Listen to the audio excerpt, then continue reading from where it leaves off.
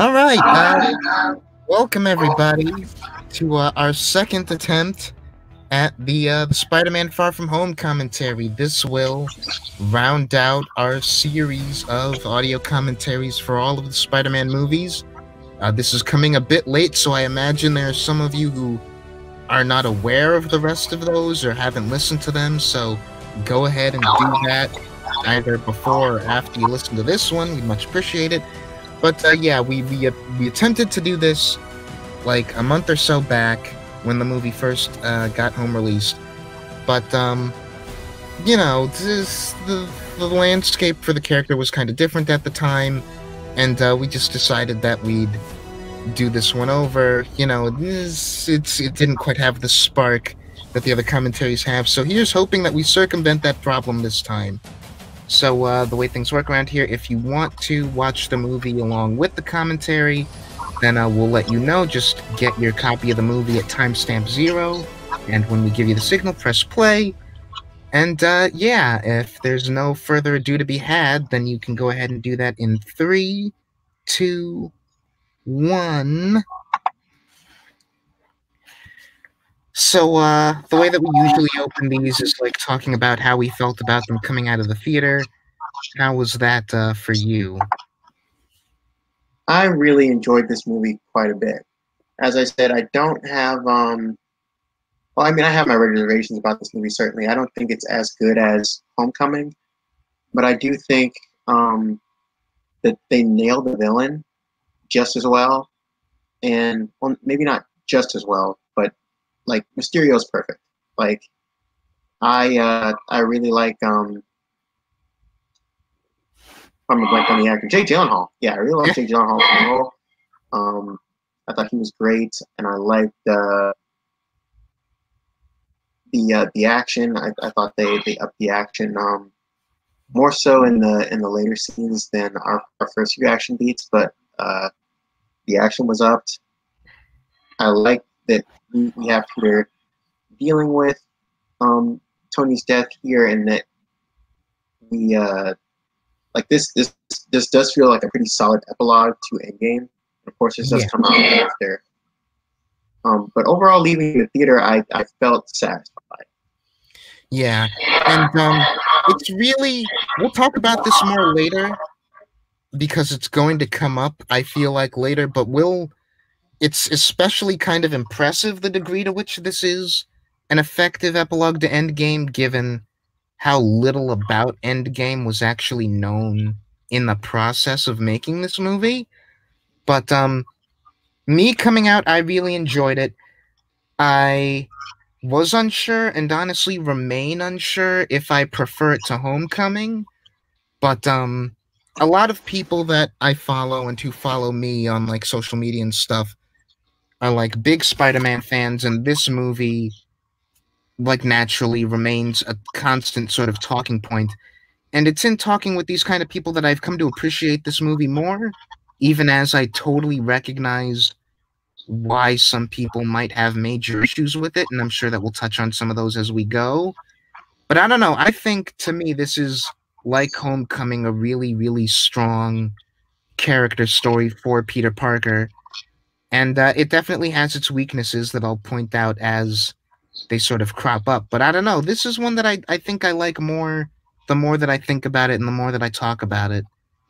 So uh, yeah, the, here's hoping that that uh, and um as this, this opening was certainly jarring for a lot of people.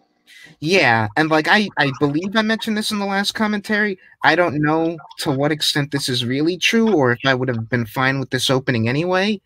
But uh, I came into this movie like very soon after having like someone who I associated with in my own middle school die and have like a memorial service at that school and the result was kind of like earnest but funny and cheesy in an unintended way much like that ended up being. And so like i was like yeah you know this is a bunch of kids making a weird memorial video.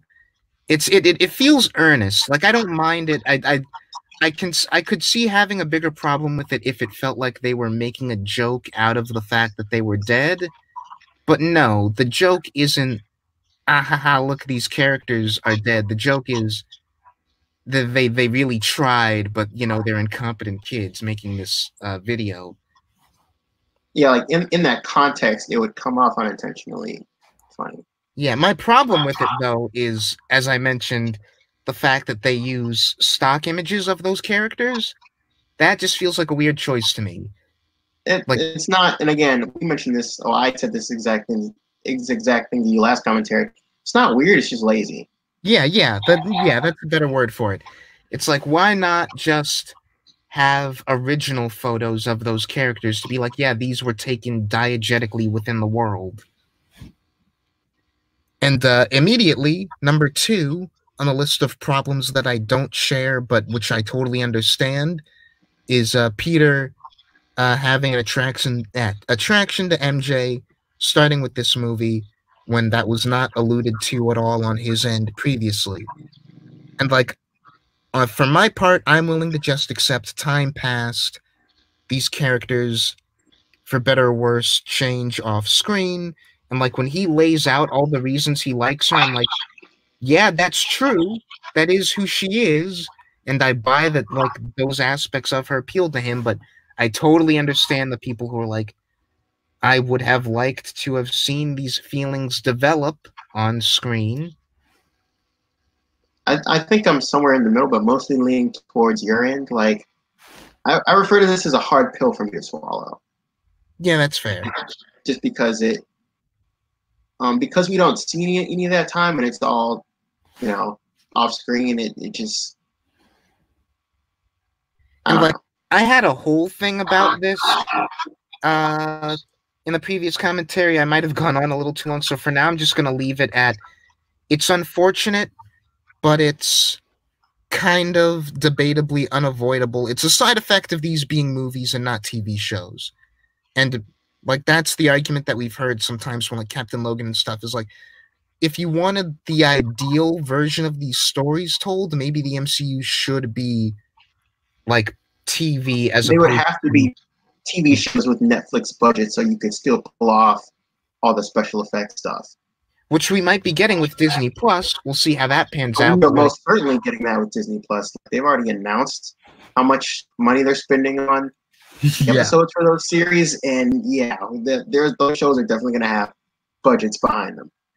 Yeah, and like um in the co- in the homecoming commentary we mentioned that a problem that we have with this Peter is that he doesn't feel like enough of a different person uh in the suit as he does when he's out of it.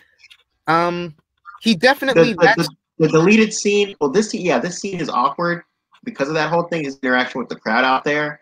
Yeah. But even I- more so, that scene that they cut of him like being really quippy and fighting the uh, the thugs in that restaurant, which should have been in this movie, especially because um, like we never really, aside from like the, a brief little snippet um, that Tony Stark shows on his uh, camera when he recruits him in Civil War, we don't really see him fighting crime all that much. yeah. It would be nice to know that he's still doing that Well, I mean like especially because later or like to see it yeah. especially because later when um he's like i need a break a break from what like all he does is take some photos and barely even talks to the press as far as we really know like i i think we should that that little stiff him fighting the the thug should have been there Well, the thing is I I see where you're coming from, but there are a couple of things that I disagree with. Where like, this is one of those cases where if I were in charge of editing this movie, would I have kept that scene? Absolutely. Do I understand why they took it out? Also, yes. And on the on the note of like, what does he need a break from? I don't know that that scene would have actually changed that at all because he doesn't seem like he's struggling at all in that scene. Like part of the appeal of that scene is like he's just that that is the easy part of his life. Like the actual taking down the criminals that's the thing that he is not struggling with. When he says he needs a break he doesn't mean from like the actual physical labor of being spider-man and fighting the crime. He needs a That's break fair. from the pressure and that is conveyed like right here what he needs Well- a break from is people's expectations of him That's true. but I also think that scene hammers that home where he's like, "You're gonna be the new Iron Man now," and his Yeah. reaction is to deflect that with a joke. That's true. I, So I, I- I- think the scene still gives us that. yeah. And like it would have been a nice little bit of escalation to be like in that situation he can deflect that with a joke, but when it's a bunch of people like earnestly asking him that question, he almost like panics over it and he's like, I gotta get out of here. Yeah. Just And, like- just a, another another um I mean like that's mm, those are the points I'm trying to hit with why they should have kept that scene in. Mm. Um I, I think it helps with with pacing. Like I just think it helps because I think we want to get him like out of country and on the trip as soon as possible. But I just think it would help the movie breathe a little more, and it would give you the whole. Um, well, it will at least give you more of him doing the quips because another major complaint I hear from people with this movie is that he's not quippy enough in this. And the problem is like they made a story that doesn't really. Well, okay, this is funny and I Yeah. like the Peter tingle thing. Um, I, I think it's a it's a funny like ongoing gag, but he needs to actually call it spider sense. That's my whole thing with that. But as far as I was what I was saying earlier, um, he uh, like the story, like he fights what he thinks are you know monsters, and he's not going to cook with those because as far as he knows, they don't have any level of sentience Mhm. really. Um, and he's not going to equip with a bunch of drones. And by the time he finds out that Beck isn't a good guy, he's not even in the costume anymore. So it doesn't make sense to call him Fishbowl Head or anything like that. So Even though he does still have a fishbowl head. but not the same. You can still know, see his head. Yeah, I know. Still, I I would have still had him call him that. I think it would have been justified, but it's not a problem. But yeah, this was definitely a case where the the action scenes as they pan out don't really allow for much quippage, and so on that level, also I would have kept that scene. And also just like pacing aside, because I personally don't think the pacing is all that hurt by its absence. I just would have liked to have it as okay, we're getting him out of the country, we're getting him into a new setting. What's he like in his element? And so yeah. it, it creates a nice contrast because, like I said, that stuff is easy for him. That stuff is where he's like at his most confident. It would be nice to contrast that with suddenly giant monsters show up and he's got Nick Fury breathing down his neck and he's got seemingly a more professional superhero in the form of Quentin. And suddenly it's like, oh man, compared to fighting a bunch of mob guys in a restaurant, am I out of my depth here? What's going on? And I would like to know why exactly he's still wearing that suit. Because, you know, I would have thought, like, with him wearing it in the Avengers films, like, he's dealing with a much more high stakes, um, high scale situation and fighting aliens and monsters. Like, he's fighting thugs. He does not need Iron Man's suit to fight those thugs. Yeah, you could argue it's like in memory of Tony, but I think that's maybe extrapolating too much. And I especially personally, because like he he's not trying to like every everyone's expecting him to live up to Tony, um, and I think partially because he's wearing that suit, and I don't know why. I don't know he's I don't know why he's still wearing it even after he's not on an actual Avengers mission and he's just doing his own thing in the city. and like part of that is admittedly more shallow on my end. Like I've gone back and forth on it a lot, but I've firmly decided that I just the the Iron Spider suit is probably my least favorite of his suits in the MCU aesthetically. So like I just I like the Homecoming suit a lot, and I'd appreciate it if he was wearing that for at least a scene in this movie. But whatever. And like uh, we talked a little bit about uh in home uh in the Homecoming commentary about Ned and his story relevance and the degree to which like he's a minor character in this one and off to the side. And like that's definitely true. He is definitely a decreased role compared to Homecoming. But I do still think that his presence is appreciated, and I think we're doing something interesting with him where uh, I'm gonna get into this a lot, but obviously with this being a Mysterio story, the uh, the th- the theme of this movie is like illusions and people putting up walls and like fake images of themselves and sort of pretending. And Ned is the only guy, like the only major character in this movie who's not doing that. Ned is like the one guy out of the principal cast who is completely genuine at all times. And I like that while Peter, who is constantly trying to put up like different facades and stuff, is having relationship issues and like confidence issues, Ned is kind of rewarded by just being a genuine, confident guy in that he just has a relationship that goes smoothly and like they break up on amicable terms and like he has none of Peter's problems. I don't know if he is all that confident or, or necessarily any more confident than Peter is, but um, I feel like he is. Definitely not in but in this movie.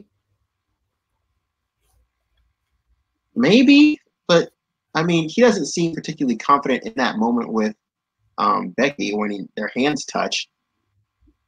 Uh, I don't know. All we get is like a reaction shot. I, I think that's too much to read into. I mean, I, I think in general you're reading too much into the Ned thing. I definitely don't think the filmmakers are doing anything really all that interesting with him in this movie. He's kind of just there for comic relief. Eh, yeah. That's his only real function is to be comic relief and to be, you know, Peter's ongoing friend that eventually gets in peril that he has to save.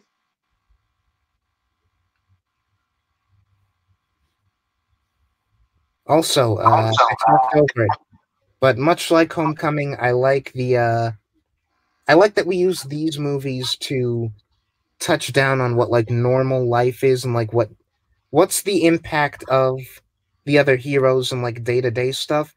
And part of that is seeing stuff like oh, there's a documentary about Tony. There's like a documentary series about discovering Wakanda and the aftermath of the snap. And like there's a Nova episode by uh, Erik Selvig. And like stuff like that is great. That's a neat little like it, it's like two seconds. It takes up no time in the story, so you can't argue it's like er, forced fan service but it's a neat little bit of world building of like, okay, this is what the landscape is like because these guys are around.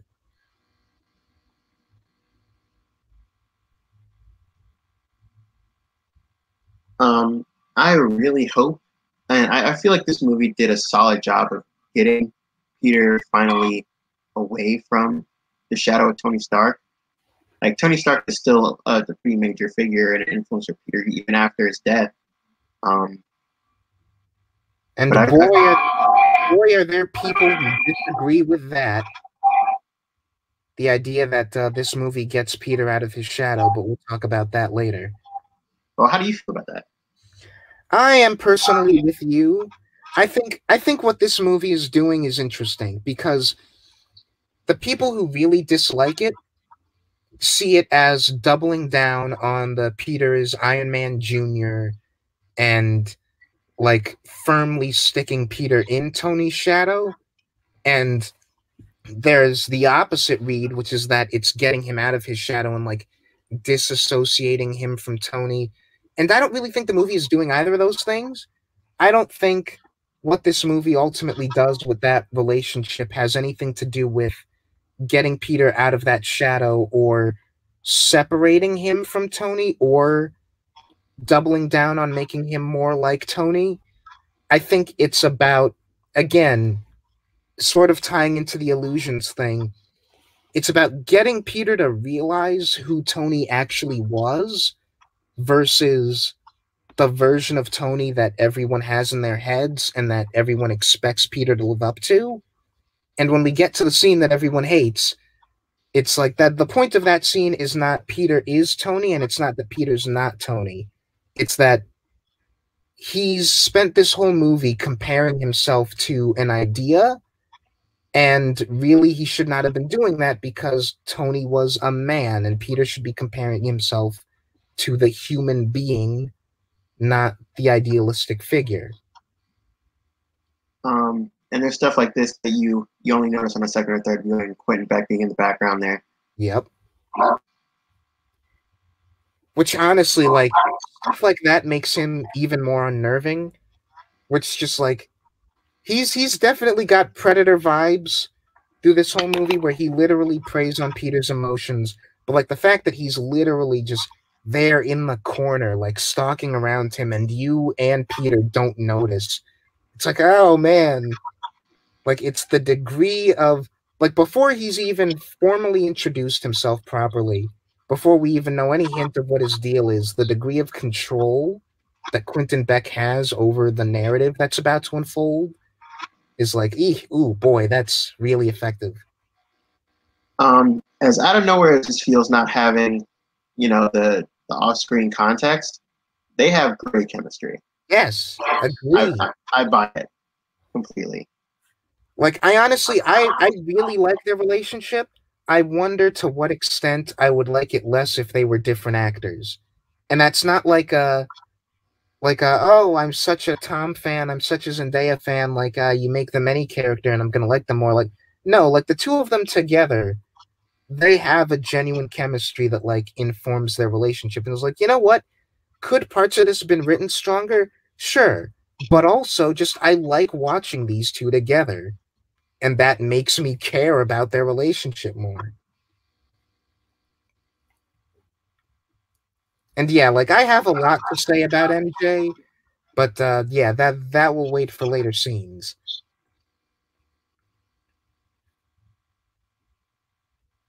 But uh, this this bit I like this that's coming up where it's like, why why don't you have the suit? It's like because I'm on vacation, Ned. It's like that's. And he wasn't expecting to wear it. Yeah, it's like it's such a funny little line, but it's also part of his whole problem. Is like, and uh, there's a video about this that I think I linked to you that's talking about um Peter's arc in this movie, and like how in Homecoming, it was already a problem of like him being torn between the superhero world and him wanting to be a kid. But this movie, and like the term that they use for it that I like is that this movie is more implicitly aggressive about it where it's like constantly Peter's like the, the world is basically saying, All right, Peter, pick one. You can't if you want to go on vacation, then you gotta be a kid on vacation. If you're if you want to be a hero that helps out, then you've got to be constantly prepared for stuff to go down.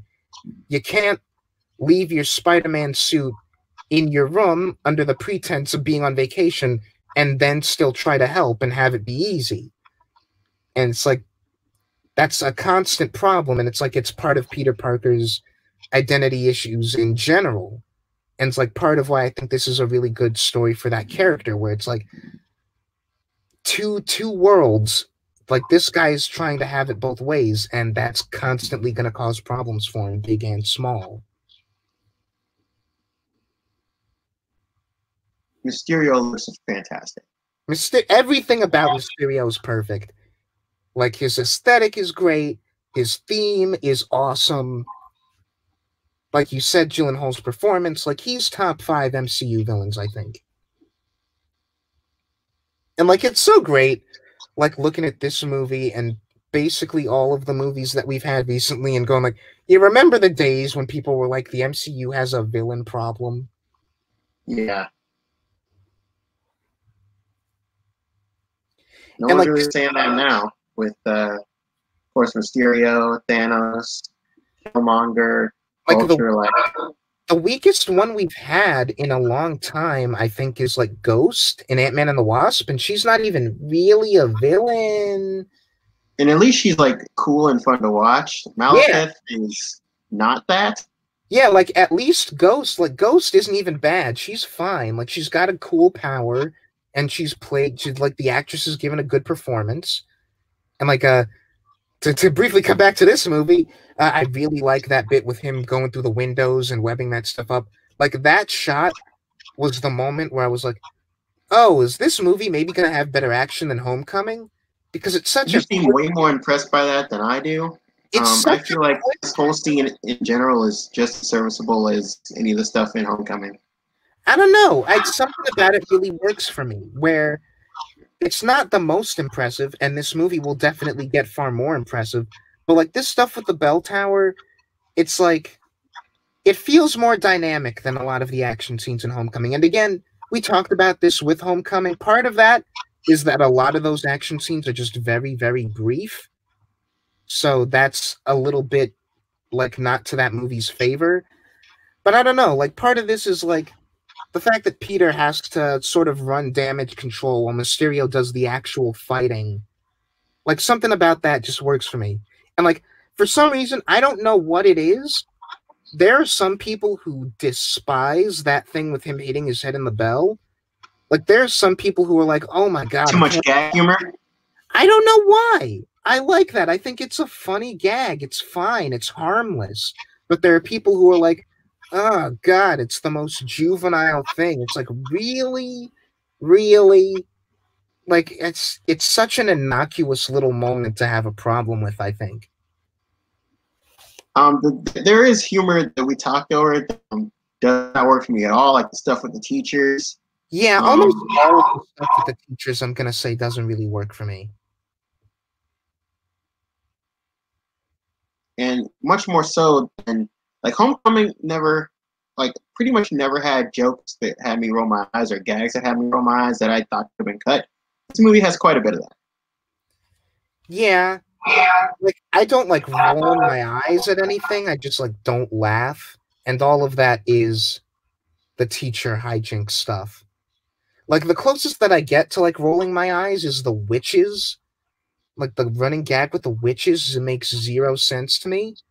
But uh, before we get too far away from it, I want to say that I do really like that brief moment, and like I think that's especially in hindsight encapsulates uh, Mysterio and Peter's characters and what makes them different so well. Where it's like, all right, the monsters. Mysterio's showboating and um, being Yeah. worried about something really personal. Yeah, Mysterio's like standing there soaking up the attention, and Peter's just happy that his necklace is fine.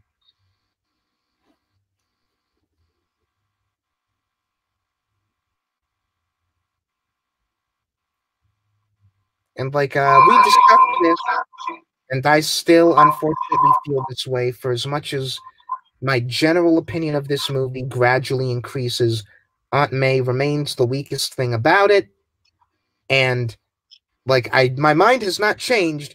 If I could make one change to this movie, like forget keeping any of the deleted scenes, if I had the power to change one thing, like from the script, bring her on the trip. Why is she not like a chaperone on this field trip? That would immediately like give her a lot more to do character wise. Especially since she knows that he's Spider-Man, Yeah, um, which is a which is a status quo that we usually don't have with Peter Parker, especially this young. Yeah, like I genuinely don't understand. And like you can have you can keep the thing where she's fine and she's like on board and gung ho about him being Spider-Man and maybe like even even use that to draw attention to the thing I was talking about, which is like she comes to like she can volunteer to be like a chaperone on the trip and she's like yeah, okay, come on, you're on a trip, but you can still be Spider-Man, right? Like fine. And then a giant monster shows up and she's like oh gosh, maybe not. Like, like, like, let's do something interesting where she's like, okay, if you're fighting criminals, that took me a minute, but fine. Like, you've clearly got that in the bag. Giant element monsters, I don't know if I want you doing that. After he's already helped fight like two wars, Right? But she, but she wasn't there for that. No, but she has to know about that. No, but I mean, like, they had to have had the conversation where this is what I've been doing all this time that you haven't known about. Right, but part of my thing is like what would make it more interesting is if oh, now it's in front of my face, suddenly I get why this is a problem. I, I don't I don't know if I, if I buy that for Aunt May. Again, Aunt May is my biggest problem with this movie as well. And with the ending of Homecoming, um, I was so excited about that because I thought it was so much more than just a fun gag to end the movie on. And then Like, retroactively, it Yeah. just just is that. Is right yeah, it just is that. It's it's nothing. And like to have a, a status quo where she knows that hasn't been time. Um, Yeah. especially with him that young. Like in Ultimate, there's this whole great issue where um, it's towards the tail end of um, Bendis' run where they're just sitting in a kitchen talking, and it is one of the best issues in that whole series. We don't we don't get any kind of scene like that in this movie, and I She think really is weakness,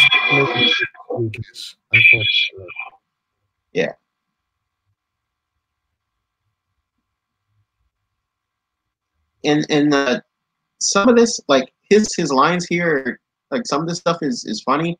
When he gets interrupted later yeah no. You can you can cut those. Fury, yeah. I, I, that's I get just it. forced humor and like, I'm not gonna lie, in the theater, this did make me laugh. But like, it's ah, it's it's one of those gags that I think only works once. Where after that, it's like, all right, I know what's coming, and this is just tedious. and it's one of the one of the things where like it's it's just more cannon fodder for you know these are SNL skits or you know just obnoxious unreal comedy beats they're just thrown into this movie for for mainstream audiences and it it, it feels like the more cynical like studio mandatey kind of thing that's on your movie Yeah, gotta I don't- part of a part of it like that, but part of it also feels like Homecoming was a very comedic movie, and this being a sequel, we don't want to deviate too hard from that tone. And maybe they overcorrect and go too far in that direction. especially since this is the movie right after Endgame Yeah, and like, Like- when it when it is focused on drama and pathos, that stuff works. And like the comedy, more than I'd argue a lot of other Marvel movies, feels like it's clashing. Like really, at its heart, this movie is not a comedy, and yet it keeps trying to be one. Yeah in certain scenes um yeah I, I do wish he was wearing this costume earlier in the movie doing the the whole uh the whole fight with the the thugs thing i wish that scene was still in but yeah this, this suit still looks great Yeah, I just I like I like it so much. I like the one that he has at the end of this one more. But so I do i that is that is now tied with um the suit from amazing spider-man 2 for my favorite suit that we've had on the big screen Yeah. I really, really like it a lot. But can't uh, stop w- wearing it in ps4 either yeah, yeah. That said, there's also uh, the Edith glasses and the issue with that, which is debatably less of an issue with this movie, although it still is kind of an issue with this movie, and more of an issue with Tony's character as a whole, which is when did he make this?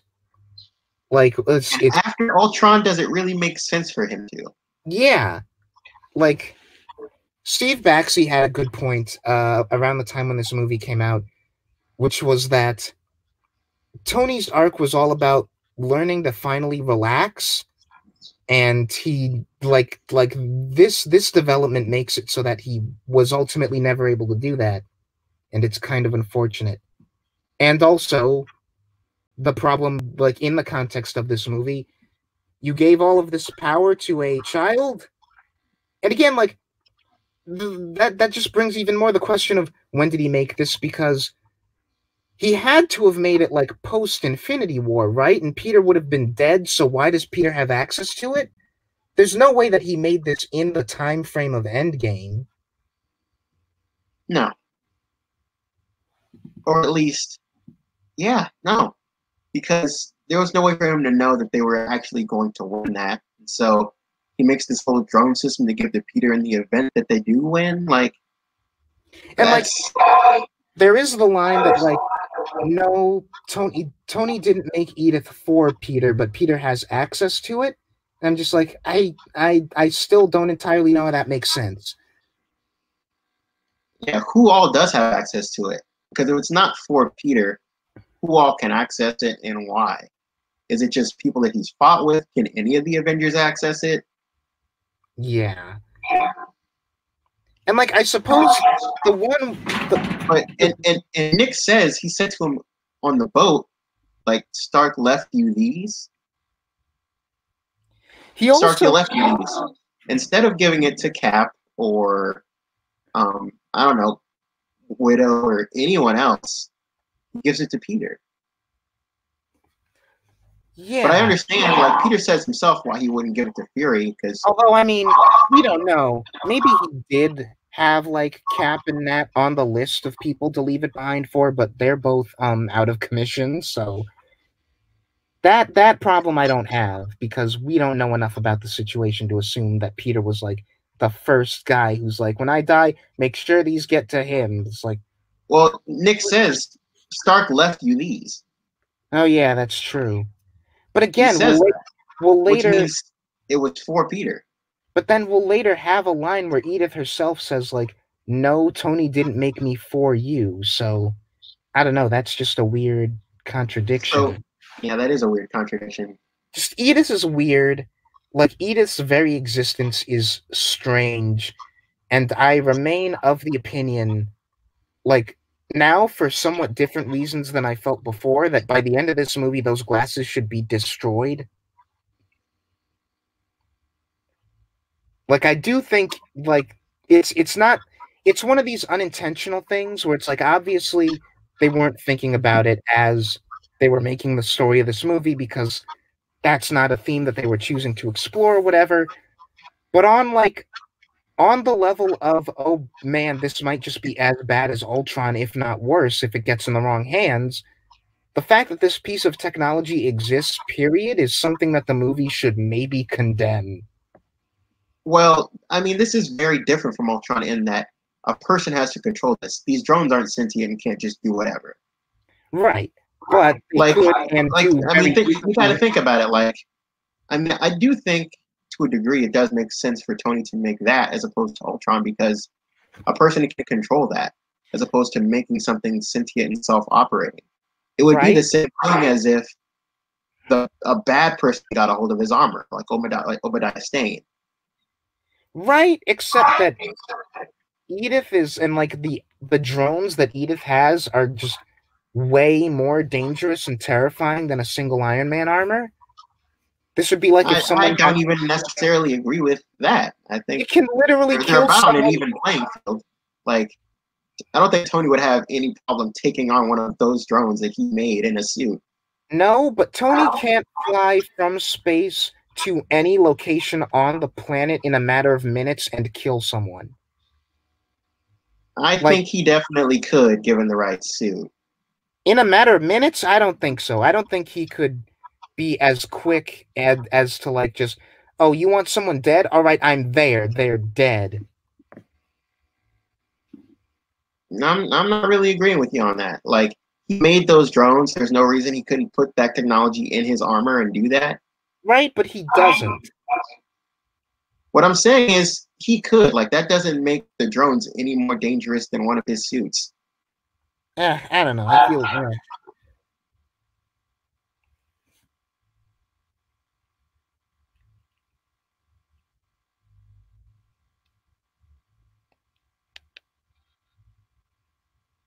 But, Speaking of which, but this, like, this this is an interesting way to uh to tackle the responsibility. so that's that's I mean that relationship is the best. It's just so dumb. Um, but yeah, I agree with that. And like all of that stuff aside, again, taking these glasses for what they are meant to be, which is like part of Peter's personal growth, I really like them on that it- it- responsibility. and it is yeah using them like irresponsibly, like what he tries to do with Brad and like um stopping him from uh, potentially ruining his chance to get with MJ. That is you know inherently selfish and it leads to nearly disastrous consequences. Yeah, and like it's it's we're, we're not quite there yet, but people have a real problem with that scene. I like it. Like I have a problem with how ridiculously cartoony that scene gets, even for these movies. Like these movies are supposed to be all the supernatural stuff in the real world, as Marvel was created at its inception, which is why yeah, everything is based in New York and real places, as opposed to Gotham or Metropolis. I'll also before we get to that, because I agree with you, but like it's also just getting us there with this is pretty contrived.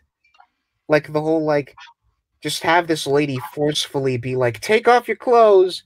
It's like, I, uh, okay, I mean, fine, but it feels like we just did that as an excuse to then set up the thing with Brad. It's like, fine, whatever, I guess. Feels a little forced, though. Yeah, which is, which again is why I don't feel this movie as a whole is as strong as Homecoming, at least as a narrative. Um, that movie flows a lot better, and I don't feel like I'm looking at any real contrivances or conveniences as far as the story goes. That's fair. Yeah, that's totally understandable.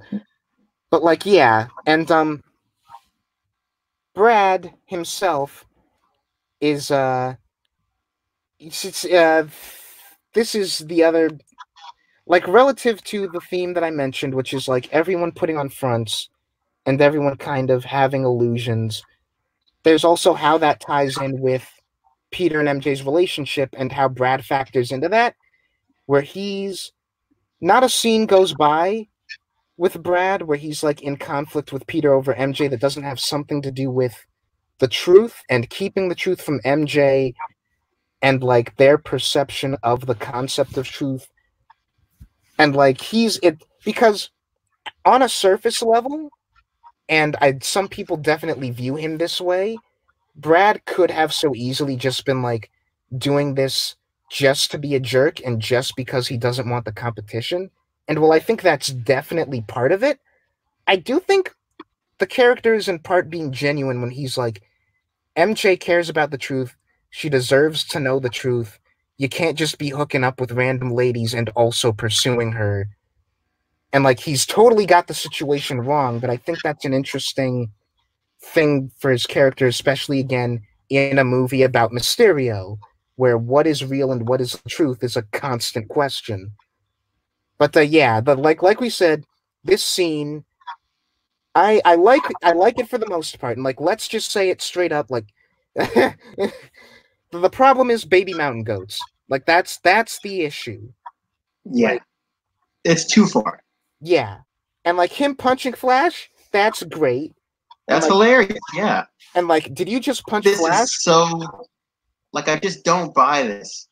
Like that, I that all, all of them stare at the window like cartoon characters and like are so eager to see baby mountain goats. Yeah. And it's like it's it's like it's such a shame because I can understand if that ruins the scene for you, but up to that point, I think it's a really good example of like mixing comedy with genuine escalating tension where it's like it's a scene that is full of jokes and full of funny bits that land but also there's a genuine sense of like oh man this is bad how is he going to stop this and it goes by quick enough that it doesn't feel like it's overstaying its welcome and like the bit where it's like I again I like it as a bit of escalation where it's like the bit where it's like, "Do you want me to cancel the drone strike?" Uh, hey, did you just punch Flash? No. All right, continuing drone strike.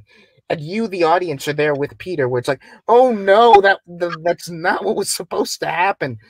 But if they just they take it that bit too far, and it's like, "Oh man, you should have you should have reined it in just at the end."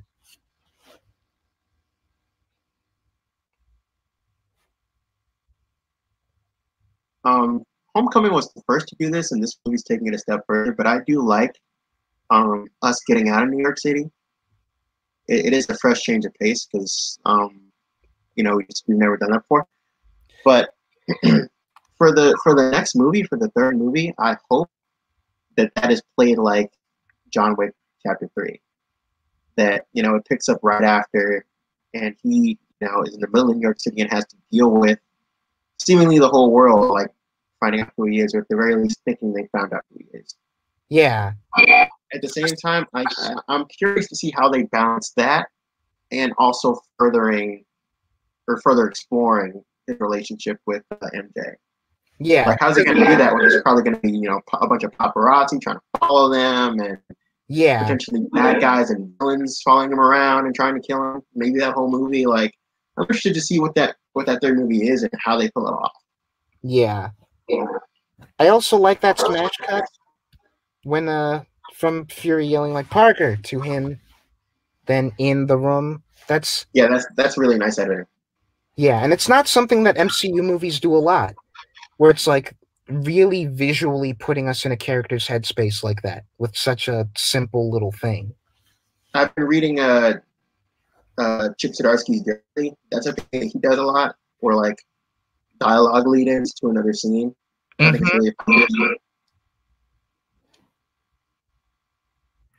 And again, uh, I mentioned this before, and you don't entirely agree with me on this, but part of what I love about Jake Gyllenhaal is that during the like Mysterio hero scenes like this, I think he's intentionally giving like not his best performance. Like I feel like Jake Gyllenhaal is playing Quentin Beck, playing hero Mysterio as a little bit of a he's like Quentin Beck is oh. giving a little bit of a hammy performance, a little bit of a slightly wooden performance when he's in these scenes where he's got to fake it. And like I know you don't share that perception, but I think that's I think that's there and I think that's intentional. I think Gyllenhaal is like giving good bad acting in these moments. And like again, it's it's not bad. Like Quentin Beck is giving a good performance and like I buy that everyone buys that he's a good guy. But if you're looking out for it, it's like some of his line deliveries are like, yeah, I, I feel like you rehearsed that. Yeah, I'm, I'm still not really with you on that at all.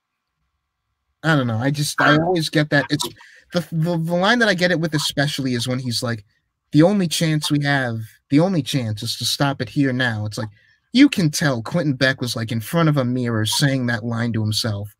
Is like this is gold. Weirdly enough, that's the one spot I think where I do agree with you. That Mhm. line feels that line reading in particular feels a little hammy, but pretty much everything else, like this this entire scene, I think it's all very very genuine. Like you and me knowing comics, knowing who this character is, are, are not surprised at all to find out that he is actually a bad guy. Yeah, no. But for your for your mom and like um, some friends of mine that aren't like heavy comic nerds and didn't even know who Mysterio was before this movie came out, um, they're they're buying this. This this is what the story is, and this is just a new hero, a, a new Doctor Strange esque hero that um that Peter is going to fight the monsters with, and then boom, the rug is pulled out from under them. And I think this performance, not the performance performance of like him pretending to be good, but Jake Gyllenhaal's performance in this scene are entirely genuine. Like, Yeah. And like it's, I uh, it's, it's the Captain America with a cape persona. Yeah. And like I like that because it definitely feels like the character intentionally adopted traits of the Avengers into the Mysterio persona. Like the cape brings to mind Thor aesthetically or Doctor Strange aesthetically. He's got Cap's attitude. He's very deliberately kind of building on Peter's affection for Tony by very subtly kind of associating with him. And like, yeah, I to your point, I saw this with uh, the same friend that I saw Homecoming with for the first time, and she had no clue who Mysterio was, and she bought it hook, line, and sinker. Like it wasn't until like until the reveal where she was like, "Really?" And, like she didn't see it coming at all.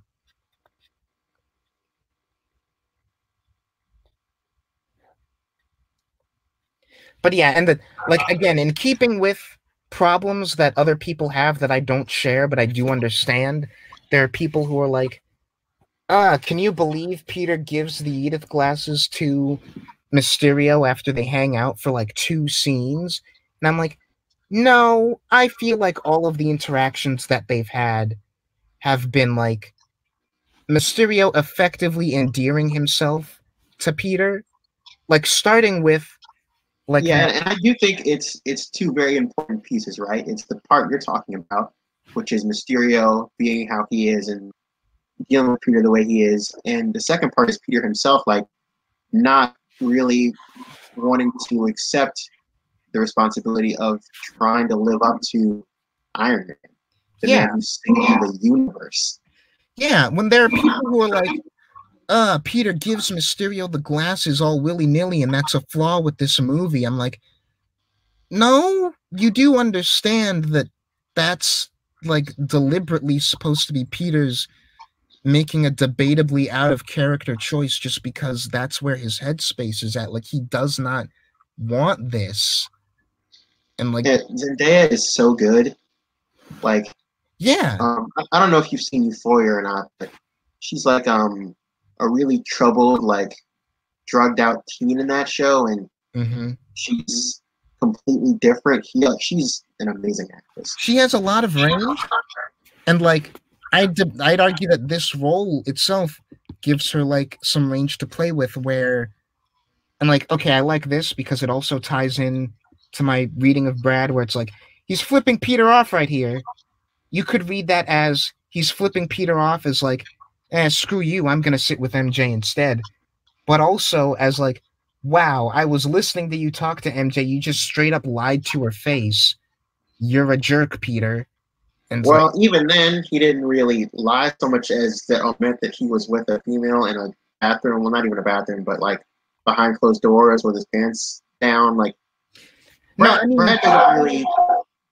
the like the whole uh, picking seats thing in that scene, where he's like, you you can see Brad like off to the side while uh, Peter and MJ are like, oh yeah, go ahead, pick out seats, I'll sit next to you, and then MJ sits down and Peter immediately bails.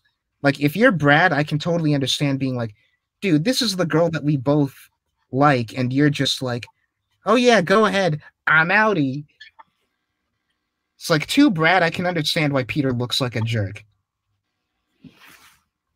Or maybe, maybe Peter's just going to the bathroom. Like, he doesn't know. I feel like he's entirely flipping him off because screw you, I want her, so I'm going after her. Yeah, that's, that's right. But uh, oh yeah, to just uh, for Zendaya's performance in general, it definitely comes out more in this movie. But again, in keeping with the theme, she from Homecoming is a character who like has all of these walls and very clearly has a persona where she's like the version of MJ that's like this totally aloof, too cool for school person. That is all a facade.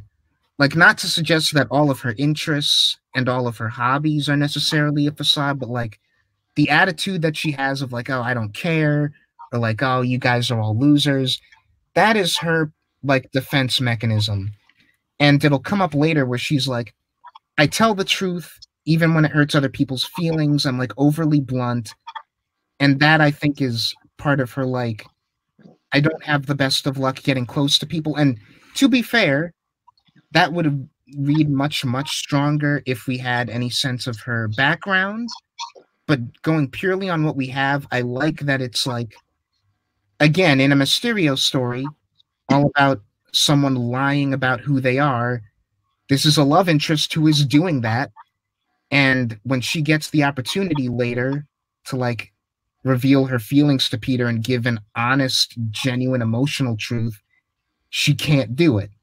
She's this weird paradox of a character where she like she will be blunt and tell the truth when it will help her distance herself from people, but when it opens herself up to people, she lies instead. Um, we talked over it, um, but I, I like that. I like that line that um, Peter gave about um, to Furia when he asked him, "Hey, how's how's the suit?" And he's like, "It's all Tight tight. around know what you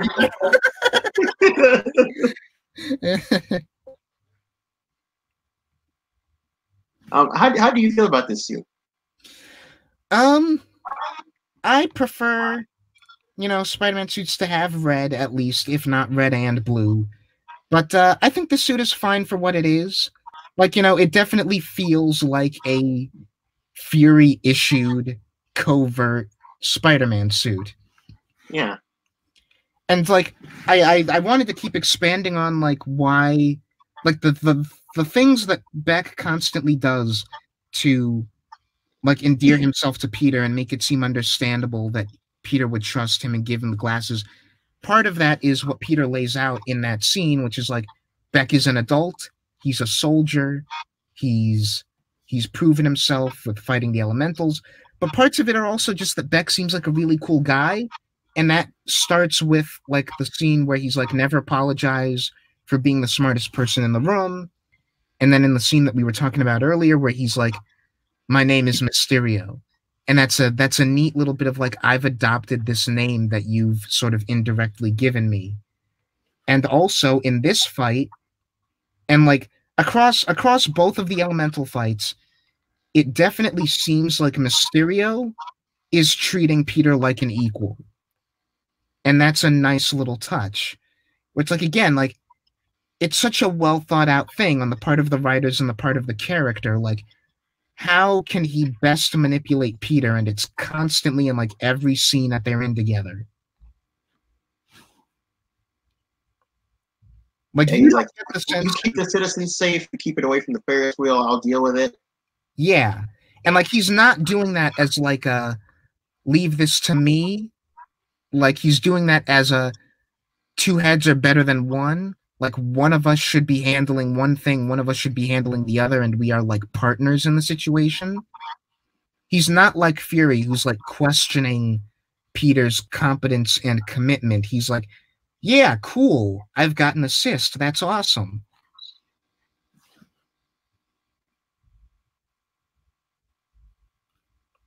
And like I know people who uh, again who don't know Mysterio who like when he pulls this off are like, oh man, did he really die? And when he's okay, they're like, oh nice. Like they breathe a sigh of relief as Peter does. Again, this movie is really good about uh, getting you to empathize with Peter's emotional state and putting you in his headspace, especially relative to Mysterio. Um, the night monkey thing is so dumb, but really fun.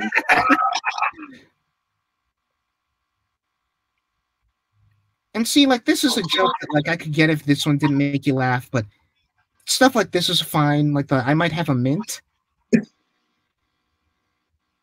like that's a nice little thing. It's it doesn't go on too long. It's not too obnoxious.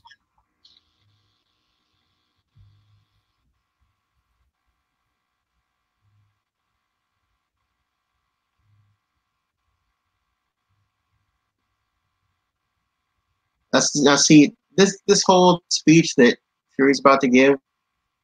I hate it. we talked about before. I hate it because it's not really Fury telling this stuff to Peter, and so it feels really disingenuous for some alien copycat to just be regurgitating what he thinks or maybe even what Fury has told him to say. But it's not really Fury. See, I can understand that being like a source of like cognitive dissonance, where it's like, would this be more meaningful if it was actually the character we've been watching for 10 years saying this to Peter Parker? Yes. I don't hate it though, because it still applies. Like, yeah, Talos is the one saying this, and that detracts from it, but it's not completely compromised because it remains true like it is still applicable to Peter's character in this moment. This is something that he needs to hear. So the fact that the person that who he's getting it from not being who he would like it to be is maybe not even like to be who it should be. Like who the movie is in that moment pretending that it is. Sure. But at the same time, like I don't dislike Talos as a character, and it doesn't seem out of character for him to say something like that. Like Talos is a bit of a goof, but he, no, it's a problem. No, my, I don't have a problem. My problem is it with is with it being Talos. Period. The fact that we even did this at all. Yeah, see, I don't get that. Again, um, because this is a movie where every it's not it's not a, it's not a big deal, but I do want to talk about this because I've heard I've heard this criticism from Cap and Danny talking about this movie. Um, he's not an idiot for like having his costume off in this scene and in this costume because a not everyone in the world saw him fighting that monster and two look at the suit. It's not an actual spider-man suit if you remove um, the mask. The only reason that uh, betty even thought that it was spider-man was because of the eyes. Plus look at the, look it's at just a black suit. Well i mean like, the eyes on the symbol there's no it's just a kind of utilitarian black suit. It doesn't like plus look at the lighting in this scene. It hardly even looks like if you're just a guy sitting in this bar and your eyes happen to come across Peter Parker in that suit, you don't I would assume he's either cosplaying or maybe he's part of some like not even not even that. It's all black. I would I wouldn't yeah, it's all black. I wouldn't even assume that it's anything special. I would just assume that it's an all black outfit. Like you've got to really be paying attention to how that looks to even think that it's like not just something that someone would wear. I don't know if I agree with that. Like it's clearly a suit. Like Yeah, it's a it's, we it's know kind of utilitarian, but it's like it could be like a like maybe riot gear, not riot gear, but um like some kind of utilitarian, like maybe spy suit or Yeah, you and I know uh, that. military suit. You and I know that because we've been looking at it and we're paying attention. If you're just sitting in this bar and you're you like glance over, I don't think you give this kid a second glance in that outfit. Maybe. But yeah, like the point still stands that like he, no one would immediately think Spider-Man like at all. Like this doesn't compromise his identity. Hmm. So like people who complain about that are just I think looking for criticism where there is none. Or at least Also- looking for an issue where there is none. Also, something that I never noticed, and you might have also seen this uh, post on Facebook, but uh, which I really like, and you can tell that this was intentional because this room is a fabrication. Like this whole setting is fake, and if you look in the background, there's like war hero medals right next to Beck's face. There are arrows pointing at Beck, where it's like again the degree to which they thought about this character being like how is the best way to manipulate this guy? He's subtly using the visuals of this bar to get peter to be like yeah you know what? This guy's the right choice. And again the the, the, the like the the genuineness that he puts into like at first not wanting the glasses and like saying "No, peter these are yours stark gave them to you and it's like, ah, up until the very last second, like Peter and the audience totally buys that this guy is the real deal. Yeah, see, like these plaques and stuff that are disappearing, like that's such a neat little thing. It's like the plaques behind Mysterio are there for Peter to be like subtly influencing his perception of this guy. And immediately, immediately the switch is flipped. Yeah. Like it's it's a it's a great reveal for um like people in the audience that just don't know. Um and even for like people like me and you, it's still immensely satisfying. Yeah. And like I know that some people have a problem with this, just how much of an exposition dump this is. Well, I remember um, the first time we did this commentary, I believe you had a problem with this. Maybe not this scene itself, but um, the fact that um, Mysterio's another, essentially another Iron Man villain. Uh, I don't actually have that problem. That might have been me as I've been doing. That was definitely you a month ago. I don't know, but I, you you have a better memory than me. But like thinking about it now, I I don't have a problem with it. I didn't have a problem with it in the theater, but that I I, I swear that that's probably I'm gonna go out on a limb and say that that was me, like I've been doing, voicing complaints for other people that I totally understand, but I don't necessarily share. Where it's like, is it is it a little bit iffy that it's like we've had two Spider-Man villains so far, and they are both like their origin, quote unquote, is tied to Tony Stark in some way. Yeah, sure. And if you're like someone who prefers This is great. I love that they brought Box of Yes. Scraps guy back. box scraps guy, With Box of Scraps! yeah. But like, I know some people who are just like, I don't like how much of an exposition dump it is. I'm like, I'm, I'm sorry, man. Movies have to have exposition. Like, how else would you disseminate this necessary information in this movie? And like, uh, the part of why I love it is, like, it's it's a great an exposition dump is such a good excuse to have this character just get up on a stage basically and showboat. Yeah, and it's yeah, it, it's an entertaining. Like th- this is being delivered as entertaining as interesting as it can be. Like it's not you know the Matrix Reloaded where we just are like standing, one guy standing, another guy sitting in a chair. Yeah, or just looking at that guy just divulge all this tedious information. And like entertainment aside, it's necessary for this character because Yeah. we just got the reveal. If we don't have this, then we spend a lot of scenes going, okay, Mysterio's a bad guy. But why? Who's But not just- why and how and not just why and how, but who is the real guy? If the guy that we've been watching so far is a is a facade, then what is his real character like? And this shows you he's like a really hammy, over the top, like showboating, kind of unstable, frenzied, manic guy. And like having him stand up and deliver like pages of exposition, like tells you this is the real Quentin Beck. This is who this guy is. And like I love his line about like uh uh, about a uh, a fake guy from another dimension named Quentin, which is totally ridiculous and apparently exactly what people are willing to believe right now. Because in keeping with seriously, everyone believed it. yes, it's great. One because it gives us the subtle implication that his real name is not even Quentin. So like even after this reveal, you could argue there are still things about this character that are fake throughout the whole movie that we do not know to be to be true.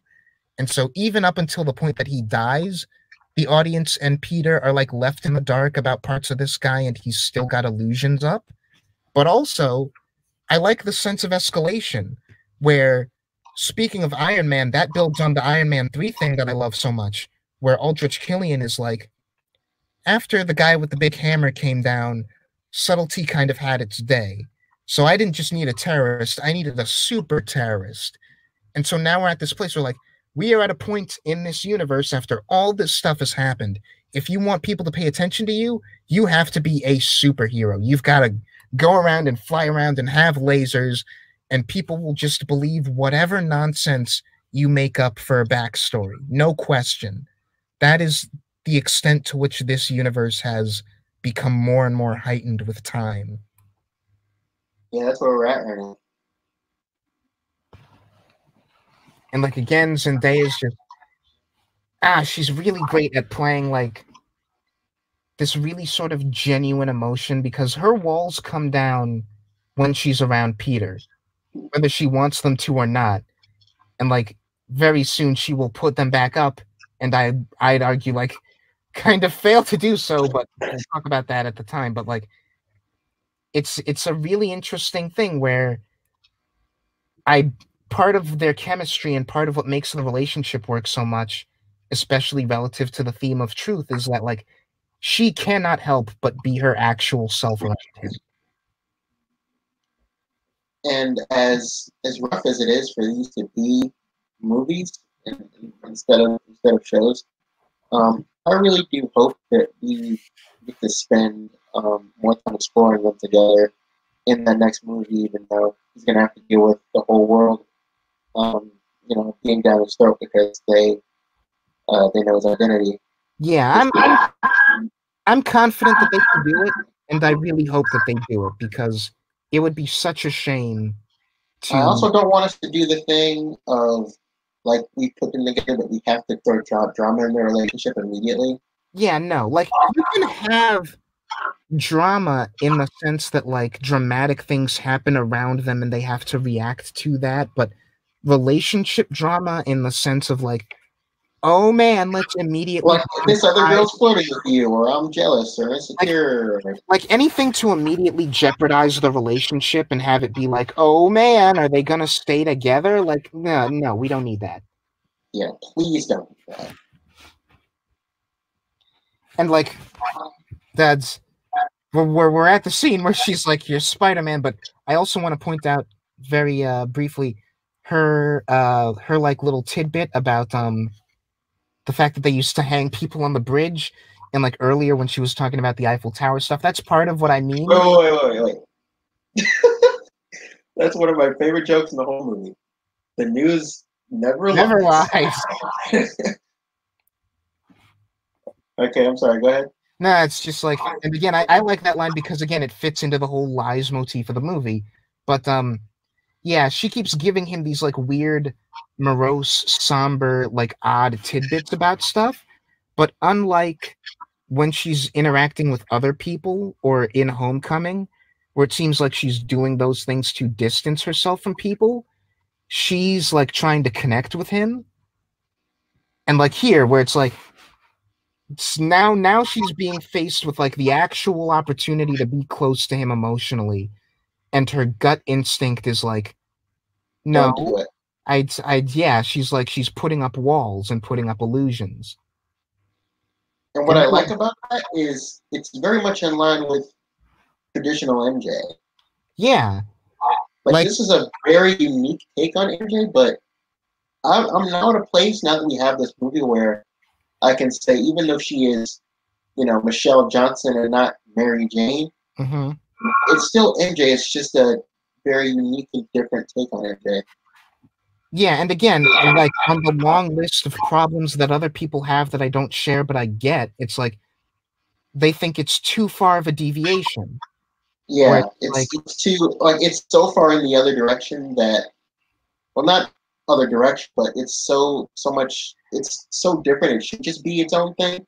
And again, part of it is the lack of backstory. If we knew what her Yeah. home life was like, I feel like way less people would have that problem because that's the big thing that underlies the for traditional MJ that underlies the like the party girl persona or the like popular girl persona. Here, she is still MJ in the fact that she is putting up a persona. The persona is the opposite extreme, where rather than being overly so, uh, overly social, she's a loner. But if the root of the persona is the same, then I think less people have a problem with it. We just don't have a clear enough look at what the root is. Um, oh, I'm not too sure about that. Like her being the the bombshell party girl that every everybody likes. Like that's that's what everyone thinks of when they think MJ. Right. But I mean, like, in terms of like what we're talking about, like the actual core of the character, in Yeah. both cases, it's her leaning into that when she's she's like playing up a persona and she's like covering up for like insecurities or issues and like she is clearly covering up for insecurities here but unlike a lot of the other takes on MJ we don't quite know where those are coming from yet she says she has This scene is okay. I was just gonna. She she says she has trouble getting close to people. We should at some point know. Where that that is started. exactly. Yeah, Yeah. But yes, this scene is great. This ah, it's so good. And like he's playing it like a like a manic film director. The the motion suit is a nice touch. The motion capture suit. Yeah, yeah, that's great. And it's like we haven't touched on this at all, but like now that it's part of the movie, like Quentin, de- yeah, Quentin basically is a director, and this movie now, on top of everything else, becomes kind of a subtle commentary on the movie industry. And like, like this stuff right here, where it's like more, more, uh, more damage, more casualties, more coverage, like all of this destruction, it's worth it for the bottom line. Like that's a thing Yeah. that people have been complaining about with superhero movies. Do we constantly have to have the the destruction and the collateral damage and the scale always be so big? It's like, yeah, we need the scale to be big. That's how I'm gonna get all the eyes on me. Um, interestingly, like he made the illusion tech, um, and I assume these drones are just like because they're the exact they're the exact same drones that Edith has. Like he essentially just gets a bigger supply of drones so he can make the big event. But um, I'm assuming that the drones themselves are just drones that he was somehow able to steal from Tony, because he doesn't talk about the drones as something he made. It's specifically the illusion. Yeah, I think we're left like, like that's one of those things where I don't think that that's in any way intentional. It's what we're left to assume. Like we just have to assume that you're correct. I think what it is is who knows, maybe he or William or whoever did make those drones, but we're gonna have a butt ton of drones in one scene, and it might have been tedious for like the effects artist to be like, all right, here how Beck's drones looks, and here how the Stark drones looks, and we got to make them look slightly different, but also similar. And like, I think that's like uh, an, an assumption that we have to make, born out of just like practical behind the scenes choices of just like, is it worth it to make the drones look different from each other? Like, who I'm not saying that they even need to look different. Um, Yeah, I'm me just saying either. uh, I'm just saying, like, with, I in think it makes more sense if Beck just made the tech as opposed to those drones that he has. It makes more sense if he just stole that. If he just stole like the the few drones he has from um from Stark. He Yeah. somehow did. I agree. I'm just saying I think we're left to draw that conclusion for reasons that nobody making the movie was actually thinking about. And see, I like this. Like uh uh she earlier in the scene when it's just her and Peter, she's still being genuine, where she is like completely thrown off by all this stuff. She's like, You had access to killer drones, you almost killed Brad and like when Peter starts undressing, like that whole stretch is her being genuine. And like she has her guards down. And then she spots Ned and she's back to aloof, too cool for school. Oh yeah, I totally figured it out all by myself, even though I was only like 67% sure, she said. And it's like as soon as someone else is in the room, she is back to putting up the walls.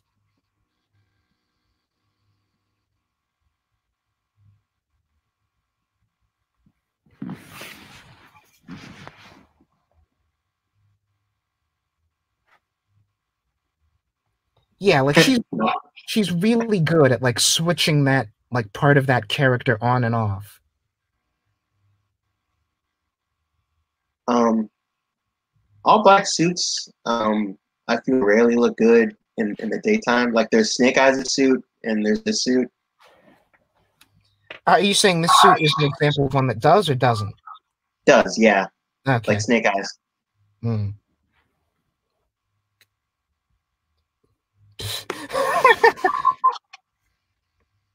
What? Ah, it's- no, I'm just thinking about the Night Monkey thing. But um, this car, that that that that, that bit where uh, Fury pulls up in the car, apparently the car is entirely CG, and like that blew people's minds, and they were like, "Why?" But I'm just kind of impressed with it, honestly. this is funny. And again, I do about- like the, the, the super strength gags. Yeah. It's always helpful to like get those little reminders of like, oh yeah, he's if he actually like puts effort into like doing something like physical, he could he could like accidentally like break anything. But uh and this this scene finally brings to mind a motif that uh a friend of mine picked up on and which I've sort of like I, I I like it. I like it as an observation and I think it ties into Mysterio and all that stuff, is like in tying with all the illusions, the illusions and the fakery and the pretending in this movie is often associated with glass and reflections. So, like, obviously, Mysterio, that whole persona is a lie, and he's got a big glass helmet for a head. This room that we will later find out is a complete fabrication this building is full of glass, full of reflections. These characters are reflected all over the place. In this illusion sequence, there's going to be a bit that emphasizes like Peter stuck in glass or like looking at his glass reflection. The necklace he gets MJ is made of glass, and when that breaks is when they like really come together.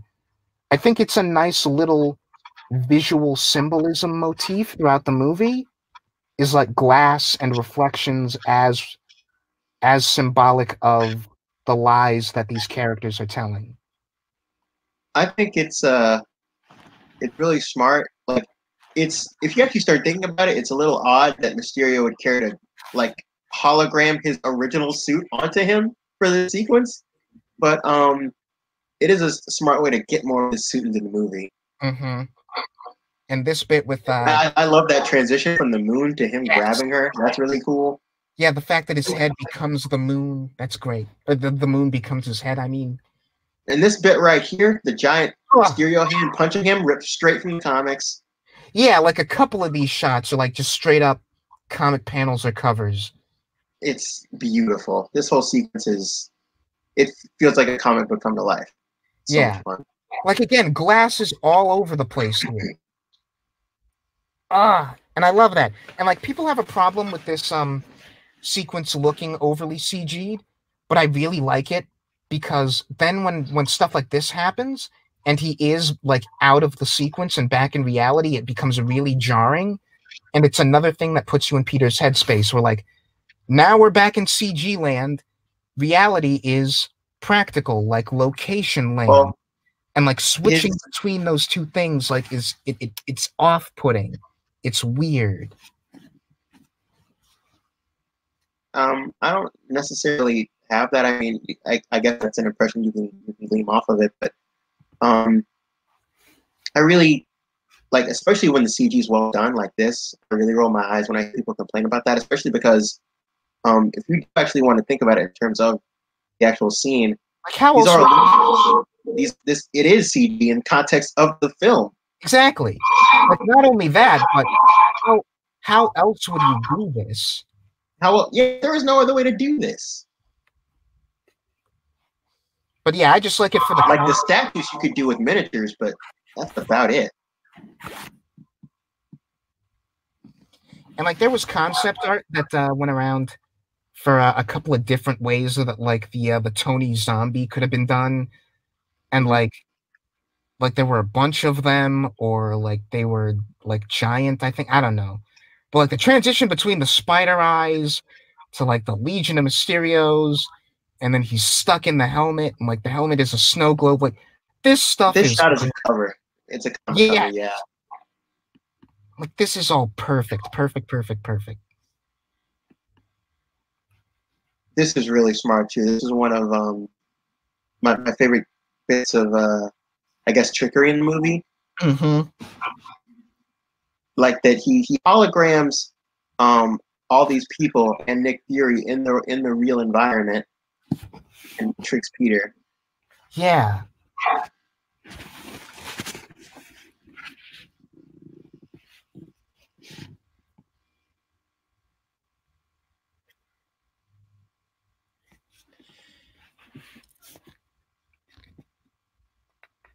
and like you can tell that he gamed this whole thing out to where like obviously he's not just gonna straight up tell fury or he would be very hesitant to. And so you can tell like far in advance beck was like all right what i gotta do is frazzle him. I gotta really throw him off his game and then i'll pretend to be fury again and then he'll just tell me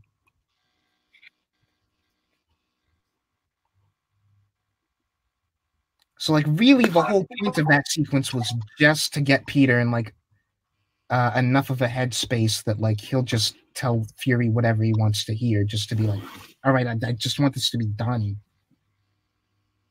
Also, him getting hit by that train, major oof.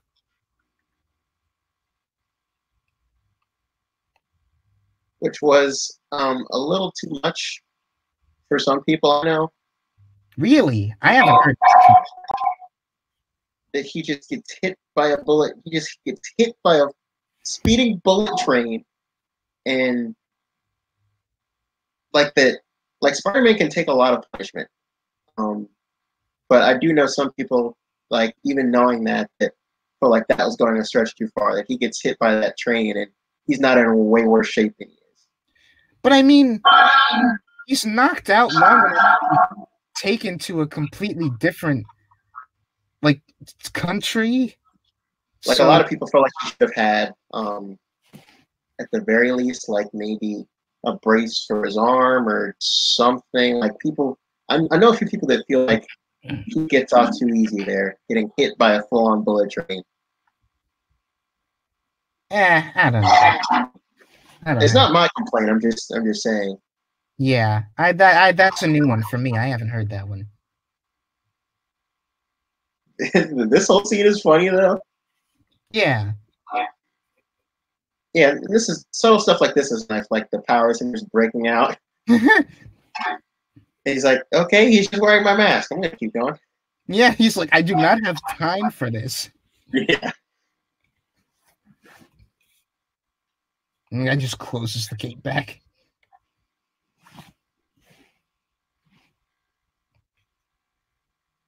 And immediately he steps in poop. Because Yeah, of that course classic Parker line. Yeah. Um, I I'm I'm really excited um to get this next scene with Happy. It is. It might be what it's one of my favorite scenes in the whole movie. Hmm, that's interesting. And I'm not gonna like. Ha- it's interesting because when you go back to Homecoming, like Happy certainly wasn't a non-entity, but he was not as as involved as uh He was the middleman. yeah he was the middleman. and He's, to see him like the prominence here in a more like neutral like minute role with Peter, like well intimate role with Peter, I should say, um, was really nice. yeah, and like this whole scene was really nice. Like all the all the flowers are CG, but um, because like obviously you wouldn't want to like destroy an actual flower garden if it was this but it looks great. yeah Like a lot of people don't even know that. i wouldn't have been able to tell if it hadn't been pointed out for me but uh but yeah like i i do like that um even though it's debatably not actually all that much more screen time happy does have a closer role to peter in this movie and it does feel like it's building off of homecoming where they have a little bit of a small subtle arc in homecoming of the two of them kind of reaching a synthesis. Where like happy at first wants absolutely nothing to do with this kid and then you realize that they're in some ways maybe a little bit similar and that they can get along and that he's like see i told you he was a good kid. And so when we get here it feels like it is you know built on something. And it's nice to see Favreau be able to have such a major role here when he kicked off this whole franchise with the first Iron Man film, and now here he is with the last film of uh, the Infinity Saga, having a scene with Spider-Man, yeah. And, And, like, and the first version of Spider-Man being so influenced by his uh, his initial Iron Man. Yeah, and having him be such a part of the uh the real quote unquote real end of the Infinity Saga. And see now this is the scene that everyone is like when when we get to the him blasting AC/DC and they're like, see, it's just them Well, wait, but, but before before you even get to that, before you even get to that, I love what he says here. yeah, You're this is like in like they were best friends and um it's like yeah no tony was was a mess and he was he was scattered but he was definitely not this perfect person yeah. everyone has in their head And like that's why I bring up the AC/DC thing because everyone who dislikes it is like that's contradicting what he just said because uh little Peter is Iron Man, but I'm like it's it's more it's more layered than that interpretation is giving it credit because when Happy says you're not Iron Man, you're never gonna be Iron Man, he doesn't mean you're not like Tony. He's saying you're, You're not, going to live up to that ideal that he's now set having died to save the entire universe Yeah, because Tony himself couldn't even do that. No. Iron Man is an idea. Tony is a guy. Peter doesn't have to live up to the idea. He has to live up to the guy. And that means it's okay for him. He can be flawed. Like and and and, and that ties back to him giving the glasses to Mysterio in the first place, which is the root of this whole problem. He's like, I'm not perfect enough. I'm too flawed to be the hero that everyone needs me to be. And the lesson that he needs to learn isn't you don't have to be like Tony, and it's not you have to be more like Tony. It's it's okay to be you and be flawed and still be the hero. You can be both. You don't have to And- pressure yourself into into like erasing like your flaws and your mistakes just to be Spider-Man. We talked over the exchange they had a little earlier, but um, what are we gonna do? He's like, I'm gonna kick his ass. He's like, no, what are we gonna do like right now? Because we've been hovering over this field for the past 20 minutes. um, yeah, and this is that scene that mirrors like Tony doing the whole hologram thing in his first movie, and it's like, we're not saying he's Tony with this, but the influence is there, and that's okay. Yeah, especially since he doesn't even recognize the band. Yeah, he doesn't like, even know what song this is.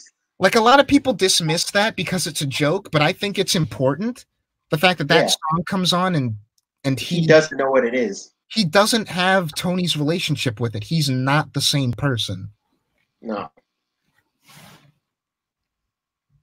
And so I think this scene actually does like it, it, it firmly takes him out of Iron Man's shadow, but reminds the audience, yeah, yeah, like he this is a Spider-Man that like had Tony as a role model, and that that's fine. He's still his own person. He's still his own hero.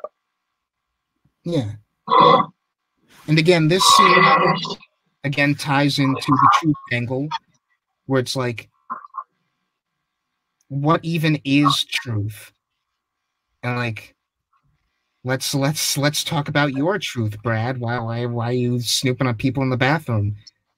And it's like again, yeah, like the, the the theme of truth and like that is a really actually an interesting topic to tackle in a movie with Mysterio and he's the main villain and he even says in the hologram sequence I'm the truth Mysterio is the truth yeah it's like who controls what the truth even is um, and until Spider-Man shows up to stop him that narrative he's writing with um that big elemental and it you know it's wrecking the the uh, tower, or the the bridge, that that is going to be the truth unless Spider-Man stops it. Yeah, it's what the, what the audience watching the movie accepted as truth. And like speaking of narrative, I like that that that's what's going on in this scene. Like again, I like the the the bits of comedy that work best in this movie because a lot of it does still land for me. But the ones that work best are the ones that do kind of have that thematic tie to it. Where is it funny that MJ just like totally got everyone thinking that Brad is a perv, yes, but also it's her controlling a narrative and kind of in a way pulling a Mysterio to like draw attention away from Peter by being like, well, look, everybody, this is what's actually happening. Let me dictate the truth to you. And like the news never lies, even that, for as little throwaway gag as it is, is still tying in.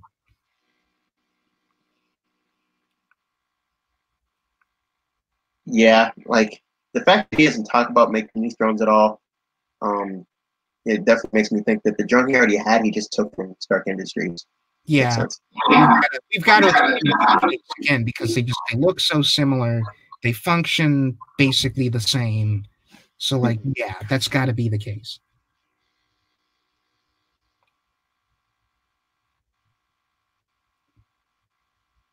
Um, there was a little deleted scene where he's in a uh, like an underground parking garage talking about the plan a little more before he executes it. Yeah, it was pretty short. that one. I don't think we lost anything with that scene. No, but um, you know, it's just uh, there's more of Jake Gyllenhaal in the movie, which I, I would never. True, fair enough.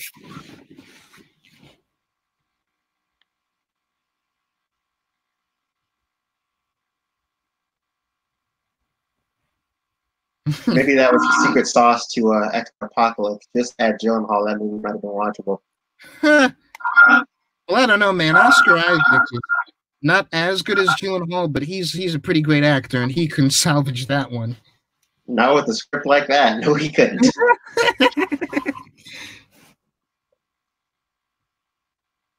um, and I, uh, I can't, I can't wait to, to finally see this suit again in action. Like I it's, really it's so, it's, it's so inspired and ballsy to play with um, Spider-Man suit because a lot of people have like their what they they see as the classic thing. You should never deviate from it. Um, he we did that with the PS4 game, making his spider white.